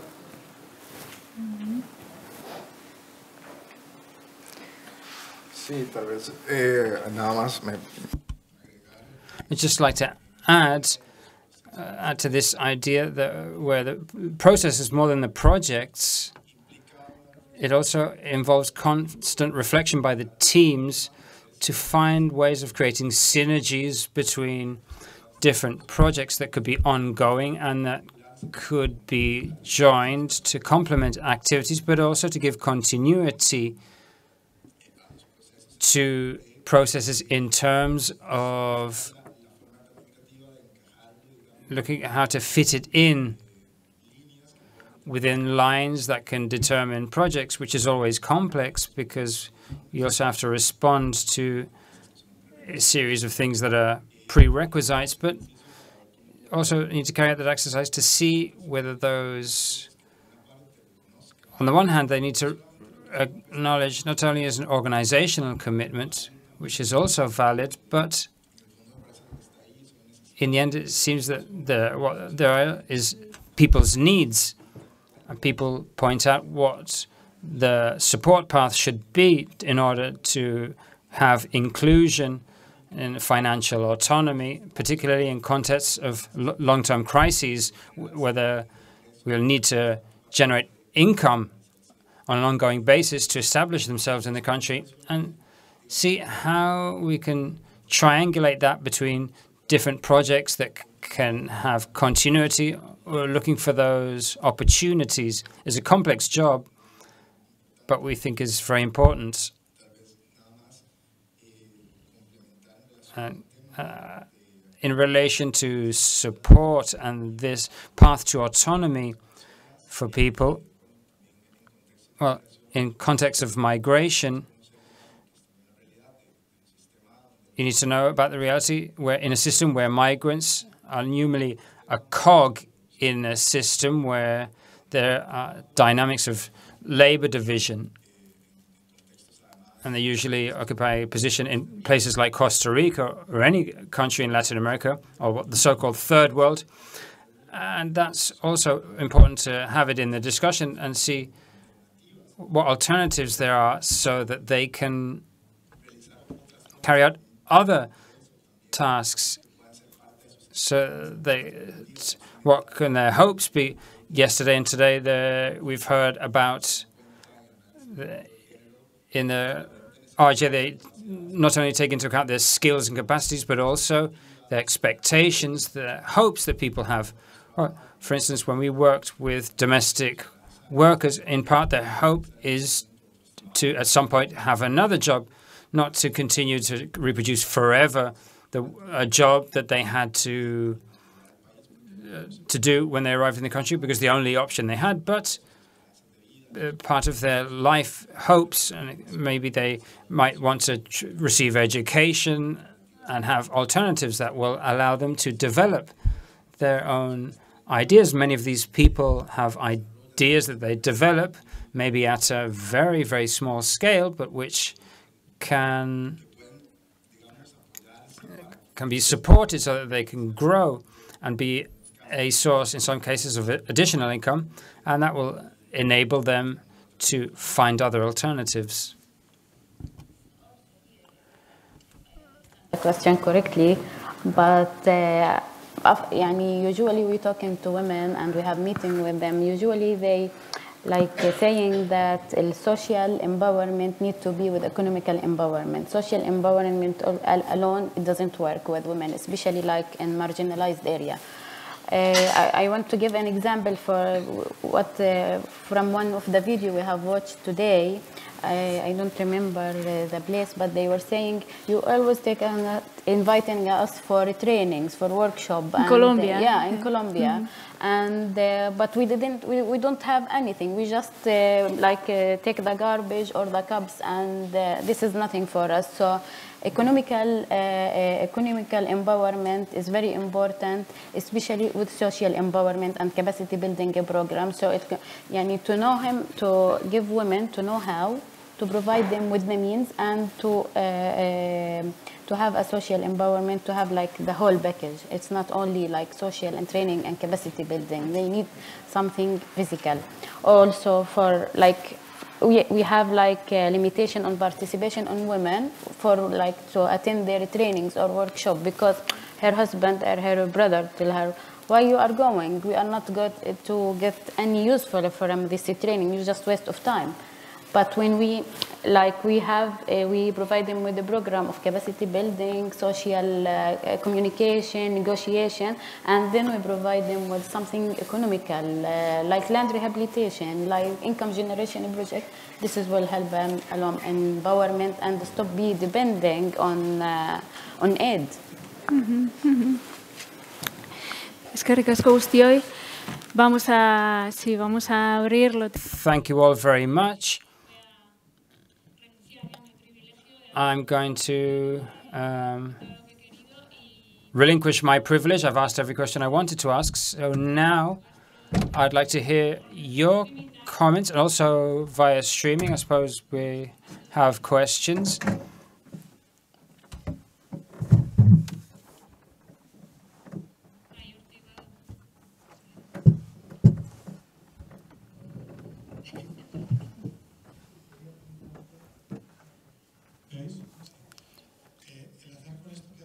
Linking to what you said and uh, what Karina mentioned, processes over projects, I think that's essential.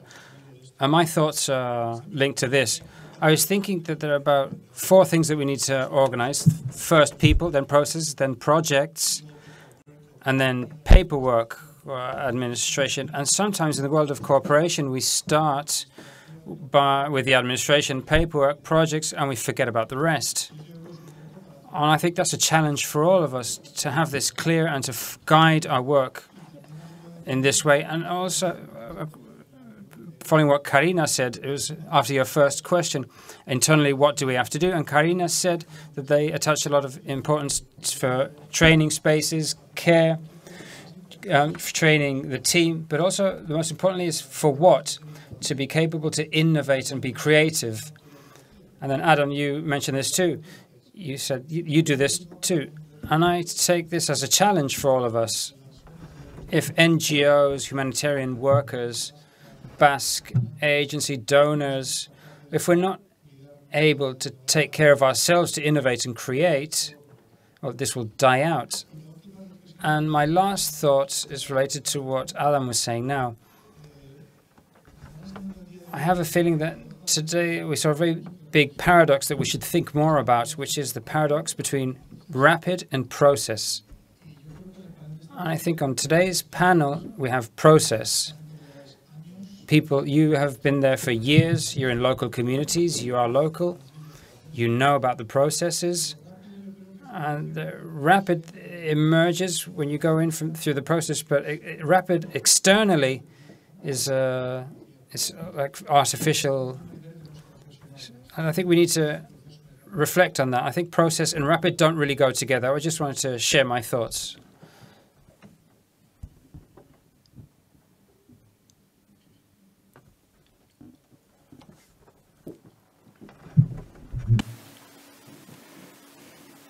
Horario crítico, ¿no? Vamos entrando. Sí. Sí. ¿Ha habido preguntas? Have there been any questions via streaming?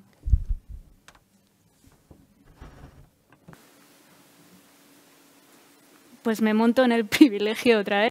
Well, I'll take back my privilege of continuing with another question, another comment. There's another thing that struck me was a very brief sentence, but I think was key by to, to about I can't remember the name of the colleague.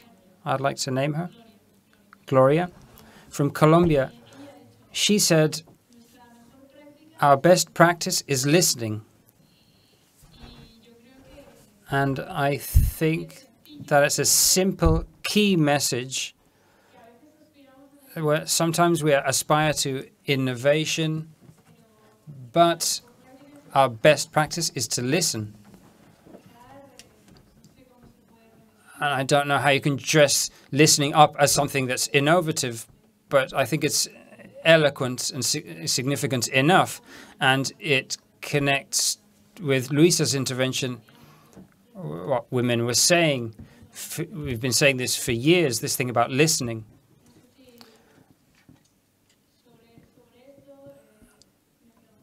Uh, so I was wondering, because it's being, listening means prepared to listen to whatever comes. So in your work, what's the the people you work with? What's the question that you found the most the, the most questioning, that the most um, striking? What's the most transformative question for yourselves or for your organizations that you've received? The most challenging question. I don't know if I've explained myself. Does it make sense? Imaginaos si lo llego a decir en inglés. the question without explaining. Just direct question. Okay. Que le repita de manera directa. Do you want to, to, to repeat it?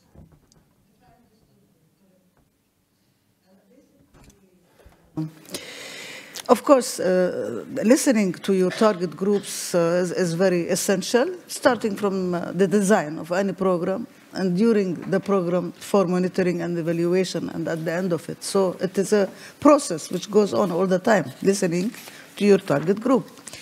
Uh, but challenges, it, it, depends on the context again, you know. Mm -hmm. maybe the women, Palestinian women, have a certain challenge, which, for example, uh, uh, women in Costa Rica don't have the same. So it depends on the context, right? The challenges.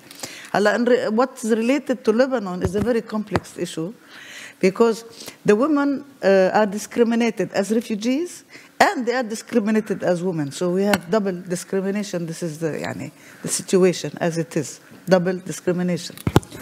Uh, the, the rights are not recognized. Huh? So yeah, so the major challenge in all our work with those women, and the, the, the most important thing for them is to get their basic human rights right to work, right to health, right to education, access. They don't have the access. They are deprived of all human rights. So this is the base, the most important challenge which we face with our uh, women, uh, yani, in the target groups. Uh, other things are also challenges, you know, to improve their situation. How can we improve our situation? Uh, teach us, etc. Yeah, this is all there. But the major one is basic human rights, which they don't have. I'm, I'm, I'm, i talked about the Lebanon, so we like to hear the challenges from our colleagues. Um, for example, uh, does it? I know, I know listening means opening the space, opening the space for uh, what we call community conversations, um, and this these conversations are done. You conduct them with various groups. So you get a safe space for girls, a safe space for boys and men and women. So they're able to talk about their issues. Um, and like we said, um, somebody asked yesterday, how do you measure, how do you get aspirations and hopes? This is really important, actually, to, to talk to someone in that conversation. Maybe the project is WASH, so you'd hope that all the questions and the listening is wash, but then the water and sanitation. And then somebody would ask you something about maybe a road. Um, so you would you have listened, you pick up their hopes and their aspirations. And somebody asked in the morning, so what do you do with all that information? You have picked all the hopes and all the aspirations. It's always task, taxing or task not easy as a social work person, as you're working with uh, with all these people, you saw the basket, the uh, the bucket list of the women who are giving uh, the political uh, during um, the presentation, and, and they uh, in the video, and they had one, two, three, each of them. I want this, I want that. So it's it's usually um, you take it one day at a time after you listen. Um, you'll also be knowing really who you're dealing with because then you know as much as you're intervening in this sector, this is also what they would really want, their ideal situation. Mm-hmm. Some of it is out of your control, it's political, it's, it's out there. Some of their aspirations and hopes would be um, issues you can refer and link. Um, I'm talking to, to a group of women, and uh, someone, one of them is just, just down, and then talk to her and ask her like any anything you want to talk about. And maybe her situation is just my papers have expired. And uh, i'm not comfortable and I, I, cannot walk around i cannot go to the market i cannot drop my children to school so then in that situation if you're able to then refer um, how link how to to to an organization yeah so it is really um, nice to listen and very important to listen to, to all, all that that they have. So that is what I would really comment in that situation of, of listening as a best practice as a social worker, because we are on the ground as social workers. Mm -hmm. Yeah. I think for, for listening, here is come the role of the local NGOs or local organization, because it's a local response. Like we are um, in Palestine or in our organization, we are like proud of the data, uh, the, the volunteer base we have that is between between uh, communities and uh, uh all the time in contact with with the, let's say with the vulnerabilities and with the different groups. Uh, so we are always trying to listen to them, to their needs. Also, the, uh, also uh, try to have the, the participatory approach in, uh, from the whole process of the project, like mm -hmm. from the assessment process until the design of the process and the implementation process. Uh, if you guarantee the participation, let's say inclusive participation for all categories in the community, you are listening to the whole community. Sí, eh, yo creo que.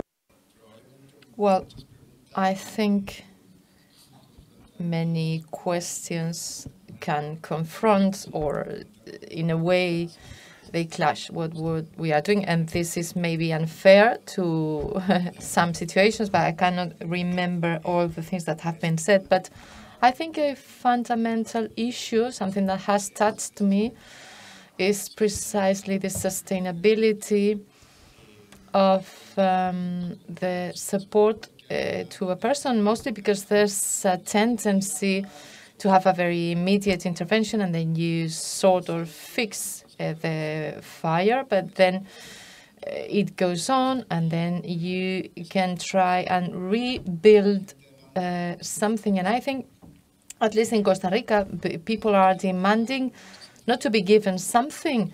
It's not you giving us something. Uh, we want you to help us uh, find a way to find a job and be able to generate income by ourselves. We have these ideas. How can we implement them? So that kind of processes are quite complex, are long processes.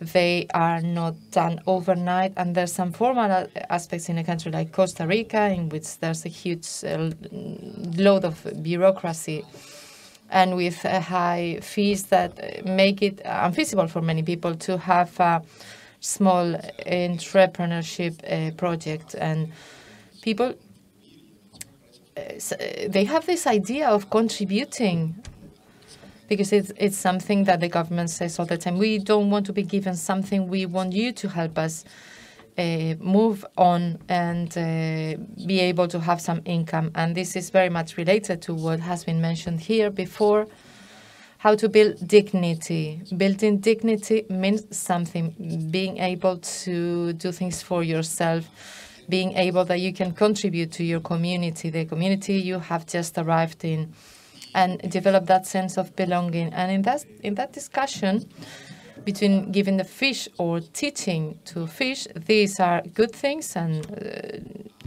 Sometimes we may need one or the other, but uh, maybe teaching is something we do not always do. And this is something maybe we should look at because there's limitations. Limitations that people may understand, but at the end of the day, uh, they are a hurdle in order to have a response. And this is something, it's a question, uh, it's a question that's very relevant to them. Thank you all. Are we doing fine with time? Yeah? Okay, we have a question there.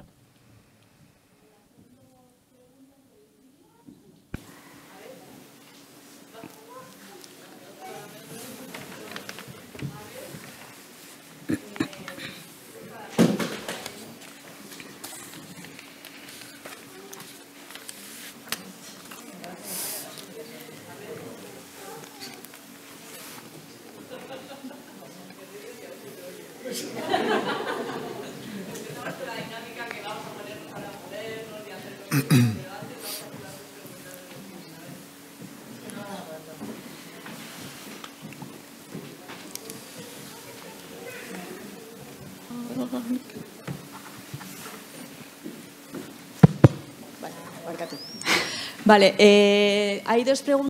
Well, there's two questions via streaming.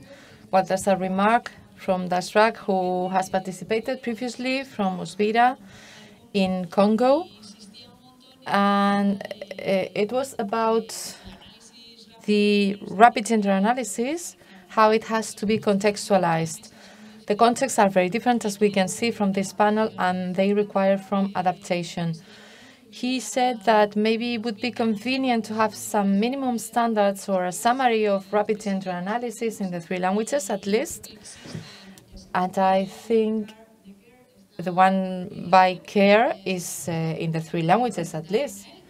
And this is something we wanted to, to tell him. And we'll send him the link. On the other hand, Pascasi Kaindo from Farmamundi in Congo goes back to an idea we have been dealing with, but he's, he's had some problems uh, with the connection, the internet connection, and he has missed something. And it may be a question for closing this conference. He asked, he would like to know what's the result we are expecting from a rapid gender analysis.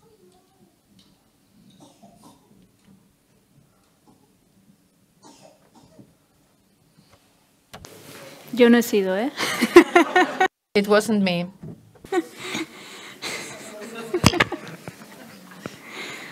Luisa. ¿Queréis contestar algo? Would you like to answer, any of you? Could you hear the question? Could you hear it, the results? What results would you expect from the application of the tool, from rapid gender analysis in your organizations?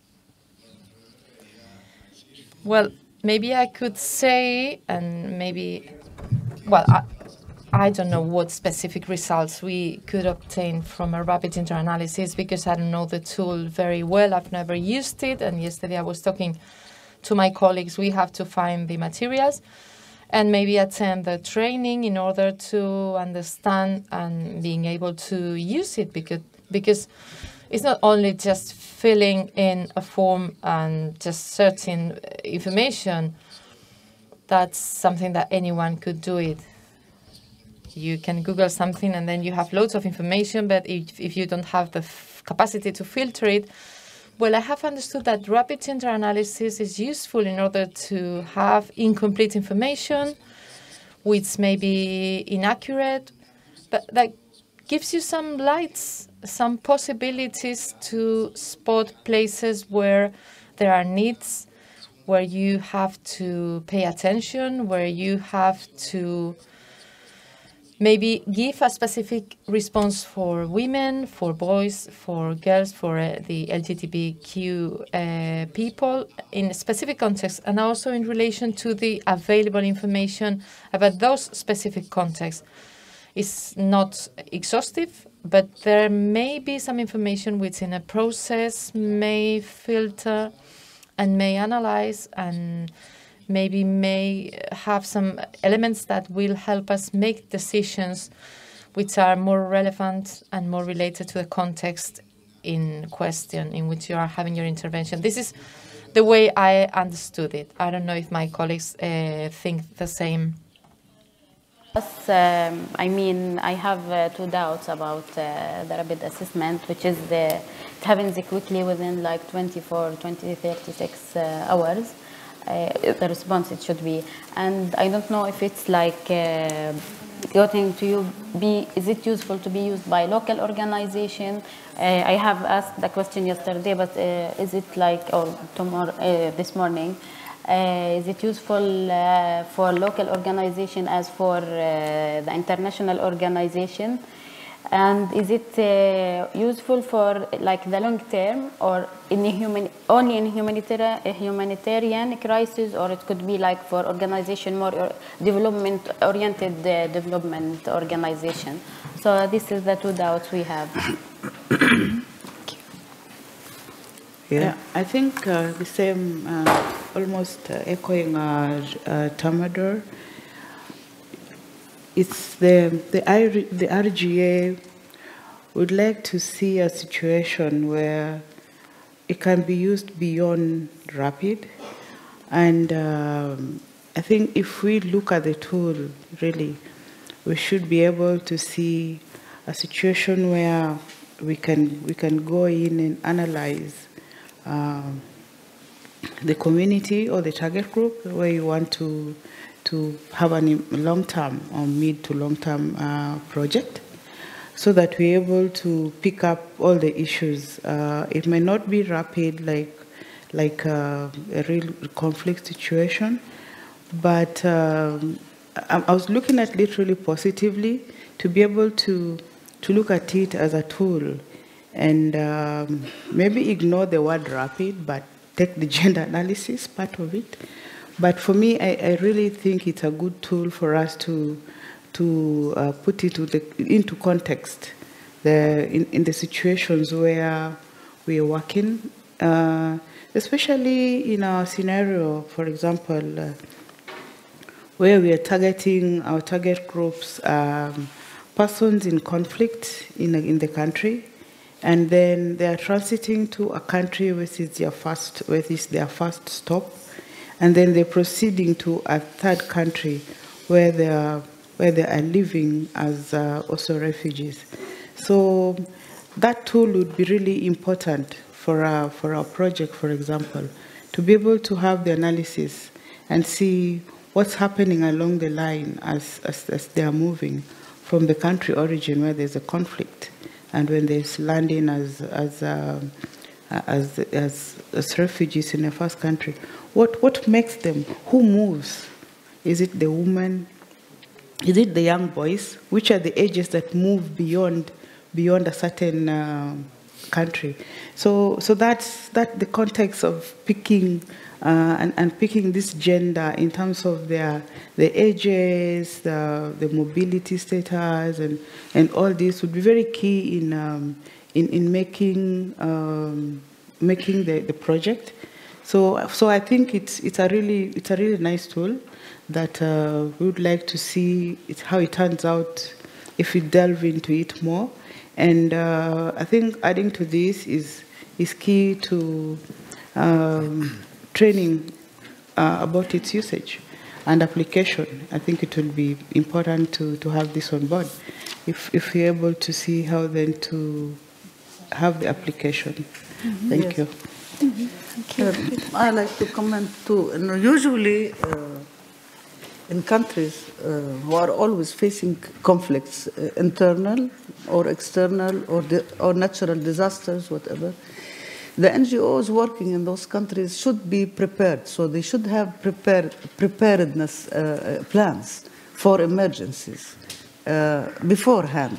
And in those plans, the gender issue should be included. So any tool will be needed in, in this case. So actually, when a disaster happens, the secondary information and the pri- uh, uh, uh, شو اسمه شو اسمه uh, per- the secondary in- information and the primary information uh, the NGOs working in this case, they, they, they have both of them. they are, it's not like an international NGO coming to the country and they know nothing about the people, no? and then they have to study from, from zero. Uh, no, we already know uh, our peoples. And we, in the plan of action uh, for preparedness, we already put several scenarios. So we know, not, n- not necessarily exactly, but in general, what's going to happen scenarios yeah so when you study these scenarios you already put all the study you need to support this scenario you know, uh, to, to support your response to this scenario you know including uh, gender mainstreaming and the gender situation Hala, whatever tools we have that help and then of course there's the stages before the disaster during and after the recovery phase depends what tools you need in each case alone. And like my, my colleague said, and uh, all my colleagues say, it's the context. It's important. So I think the tool has to serve this context in, in one way or another more. So we will, f- we will see, we will find out. Pues muchísimas gracias. Thanks a lot. I would just would like to highlight the relevance of uh, contexts, the different contexts, uh, the context we are now uh, uh, on an international level of uh, growing strength of anti-gender speech, anti-feminist speech, the reduction of funding for gender equality and women's empowerment from the beginning of the 2000 on.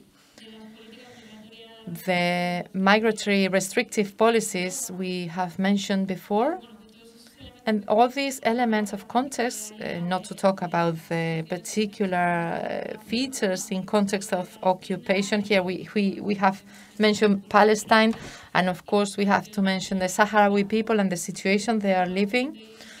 Before we said 74 years, the population of Palestine, over 40 years for the Saharan people in a territory occupied by Morocco eight experiences, different experiences, different nature of the organizations, diverse contexts. Well, I think you've had, your contribution has been huge in this panel. I'd like to thank you all for this. I'm not saying anything else because you have said everything already and very clearly. Thanks everyone for your attention. Have a nice afternoon. And now I think we are going to have the last cultural activity we have on the program.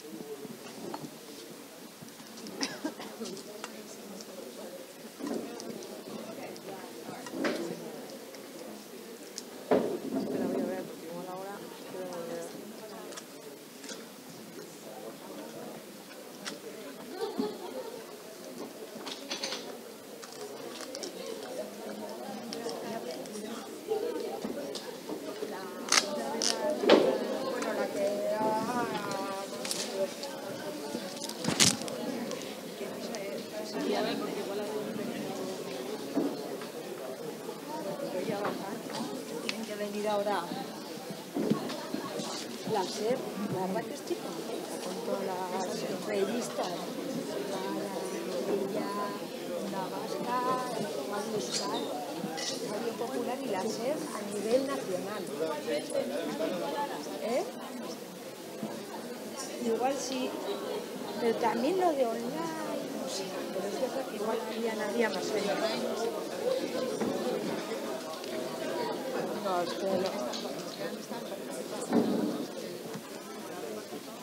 Ya. No, y bueno, y a la mañana ha habido bastantes preguntas. y- Ya. Ah, vale. Ya.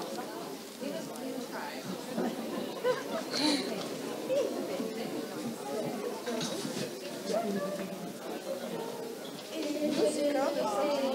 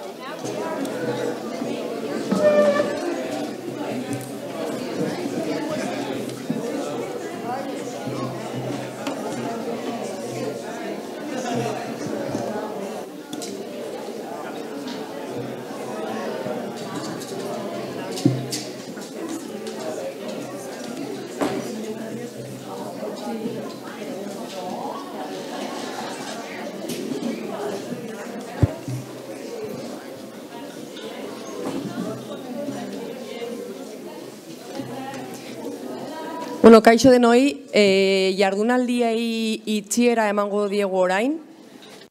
Hello, we will uh, close the conference, and this is the final event. Elena Carriedo, as we mentioned yesterday, you've seen her, has been the visual acts of the different panels in the conference. Through the technique of graphic recording, she has been capturing the information and the main ideas as they were coming up. And now she will uh, make a brief summary of the minutes of the conference. And in order to finish, we have a small surprise, an act of collective creation we are going to have. So please stay around if you can. Thank you.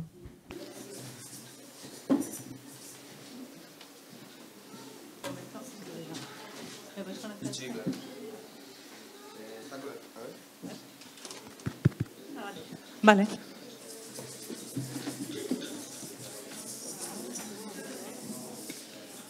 All right, so who holds the microphone now? okay, I've been trying. Okay, bueno, lo hago en castellano. y- Okay, I'll do it in, in Spanish. And so, because we have translators, I have started in English. I've tried to uh, collect graphically everything that's been going on yesterday and today, what I've heard, what I could capture. A few things I have had to ask later on because I didn't have time, but I've tried to uh, capture the essence, like the synthesis, the synopsis, not everything, but maybe what we have left in here. And we're going to have a review of uh, this, and then we will give the floor to Sokole. Yesterday, they opened up the conference, the tier from Bilbao and Paul from the agency, Lankidetza, Basque Agency for Development. Isadora told us when her, with her storytelling how this was born, the three secrets, and how everything has evolved, how it has grown up, and how this Nespresso uses this very interesting tool. This morning, Ximena has been talking about rapid gender analysis. She has made a review of her uh, lifeline, the features, the key features, and that cycle, how the cycle works, five stages, search, collect, analyze, share, and maybe a sixth state in the future. It's a tool that is alive.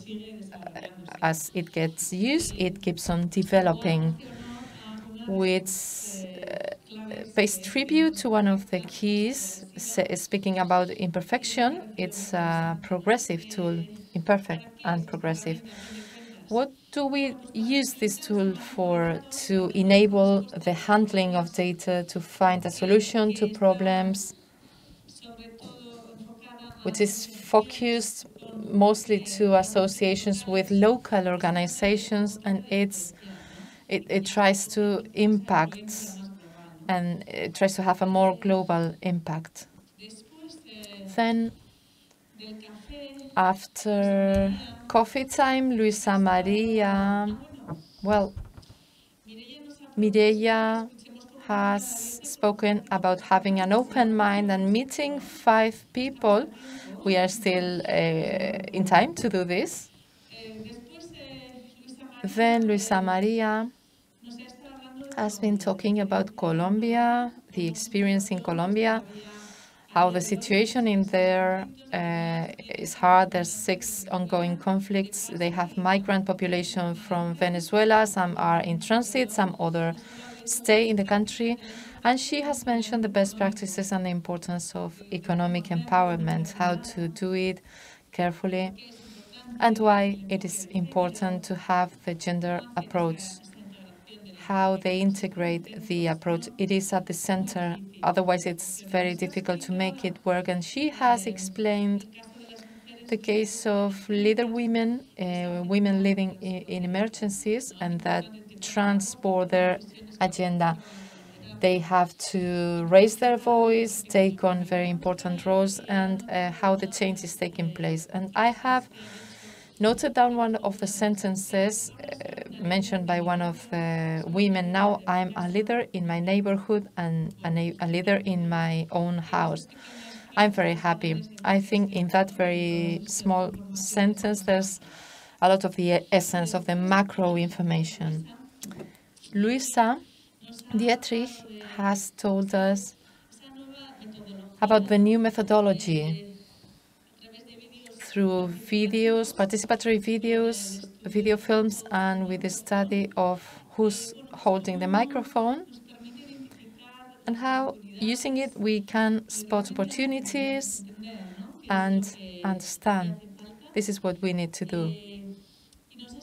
And uh, she has told us about uh, in the transformation, gender transformation, there's a change of power in the relationships. And she has spoken about processes. Everyone has been talking about processes, something that happens in the long term. And two remarks, final remarks. One of them, the impact of the actors and actresses, humanitarian actors and actresses, is not neutral, not gender neutral. It's important to keep it in mind.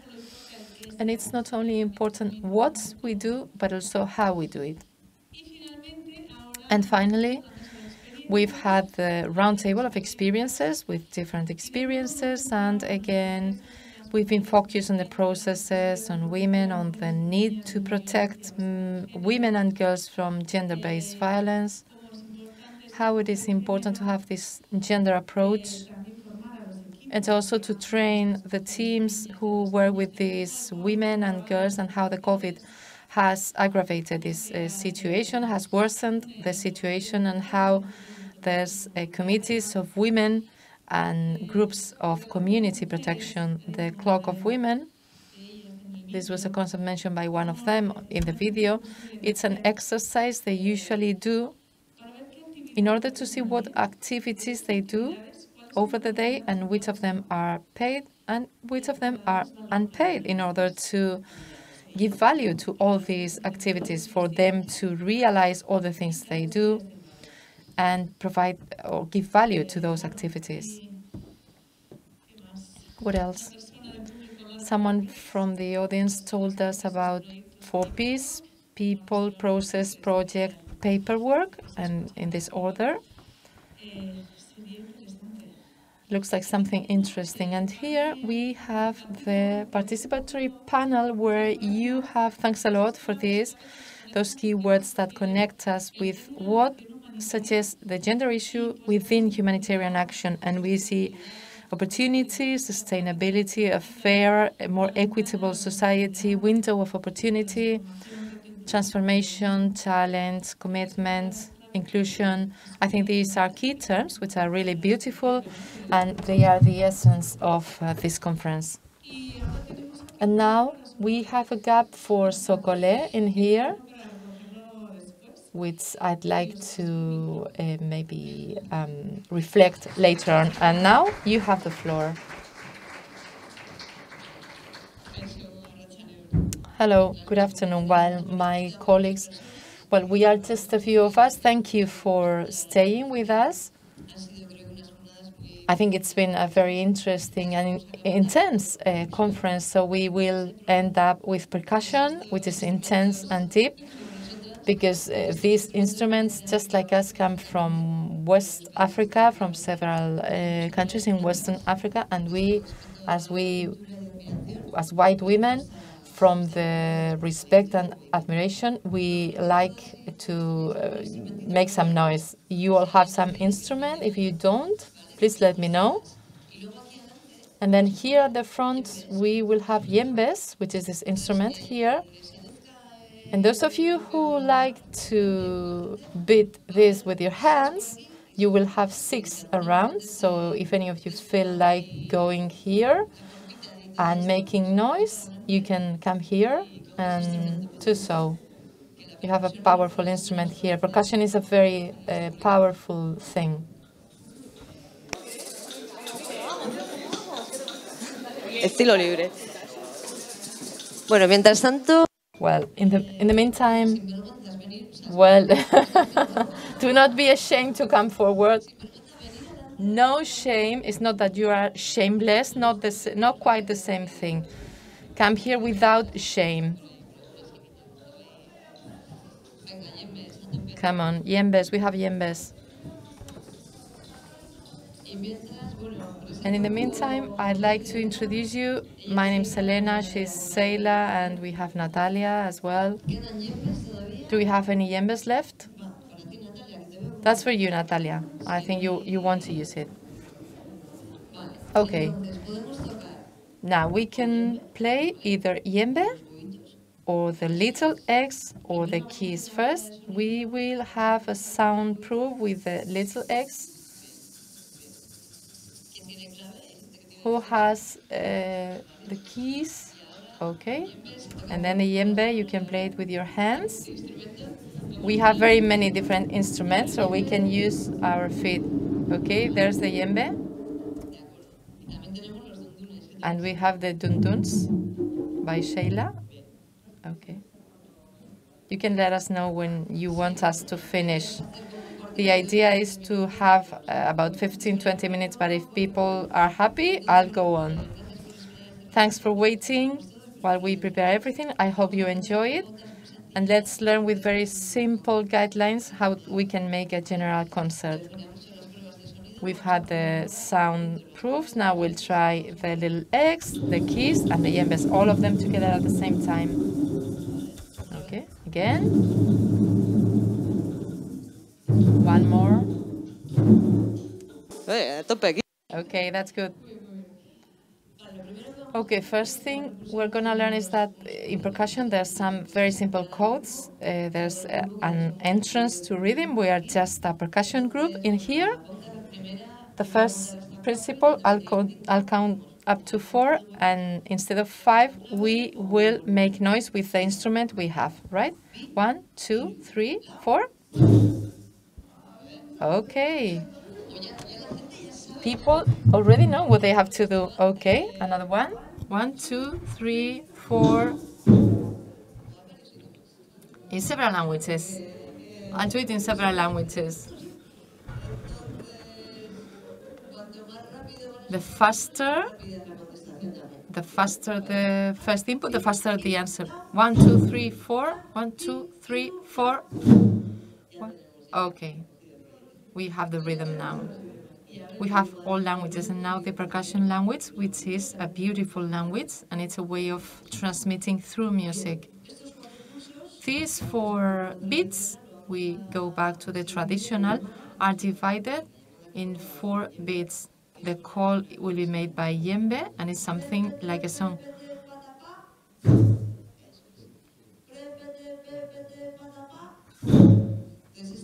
Then this strike is the beginning of all the others that are, ca- are coming afterwards. And when that call is within the beat, we will have the same two finish. And that will be the closure then. And now the mic. Can you hear me if I speak like that?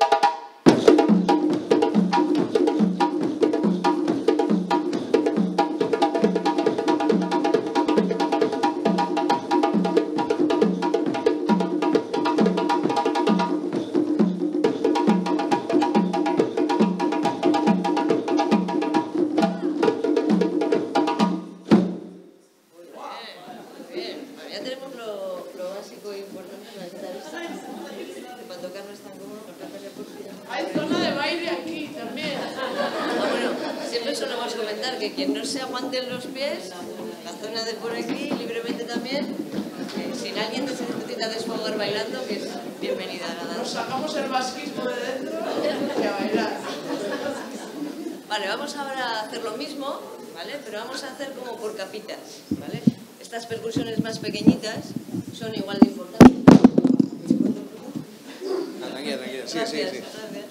Entonces, vamos a entrar por capitas. La primera capita, la primera llamada de yembe, entran los huevitos, ahora sí, la hoy también, pero entran los huevitos. Protagonismo a los huevitos. La siguiente capa se suma con las claves. Tic, tic, tic.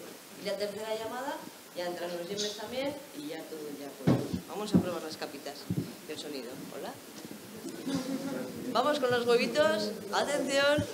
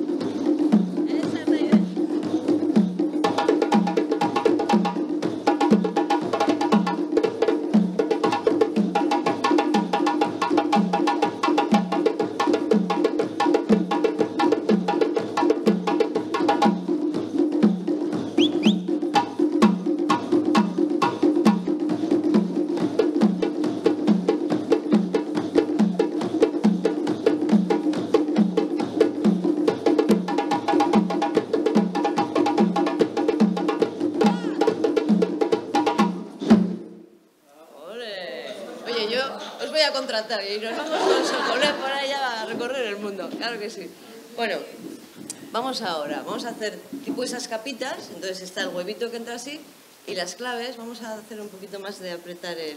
En vez de entrar check, check, check, puede ser check, check, check, check, check, check, check, que sería bat,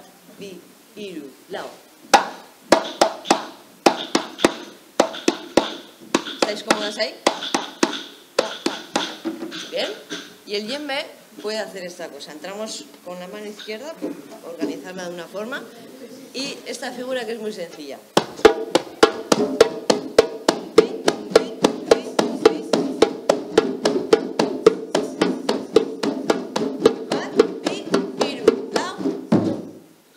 Por ejemplo, ¿eh? Si no estilo libre también es bien. Pero si hay...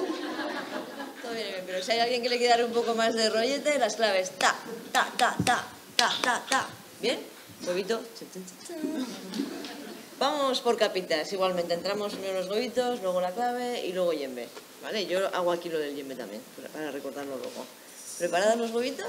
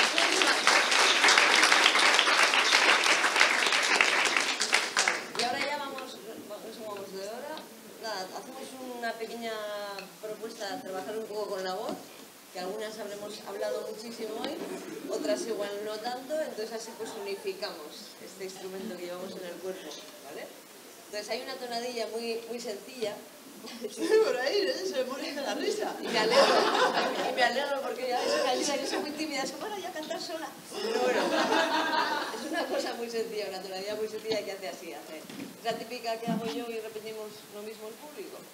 Pongo un poco de base cuando estás sola.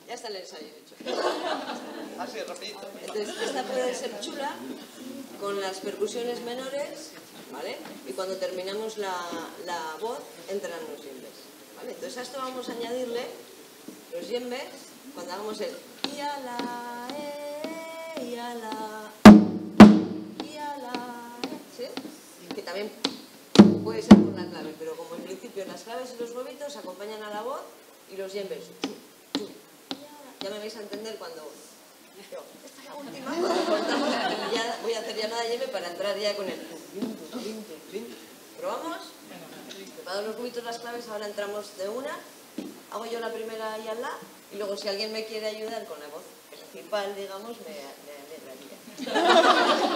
Yo antes me ayudaría, pero me alegraría. Entonces, Las vamos, huevitas. Las huevitas. vamos con las huevitas y las clavetitas.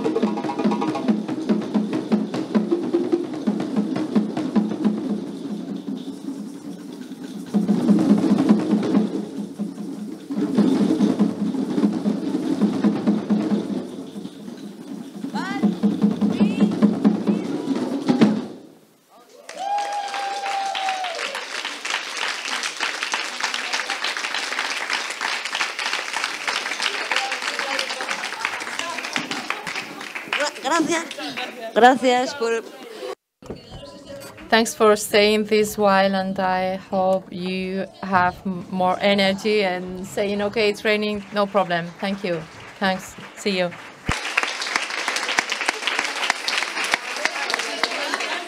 Ah, el tema de. The issue of instruments, we will uh, collect them uh, at the exit, and we may give some away if you have fallen in love with it. You have a bag there as you go. Out, the big ones, you can leave them where they are. Thank you. Thanks.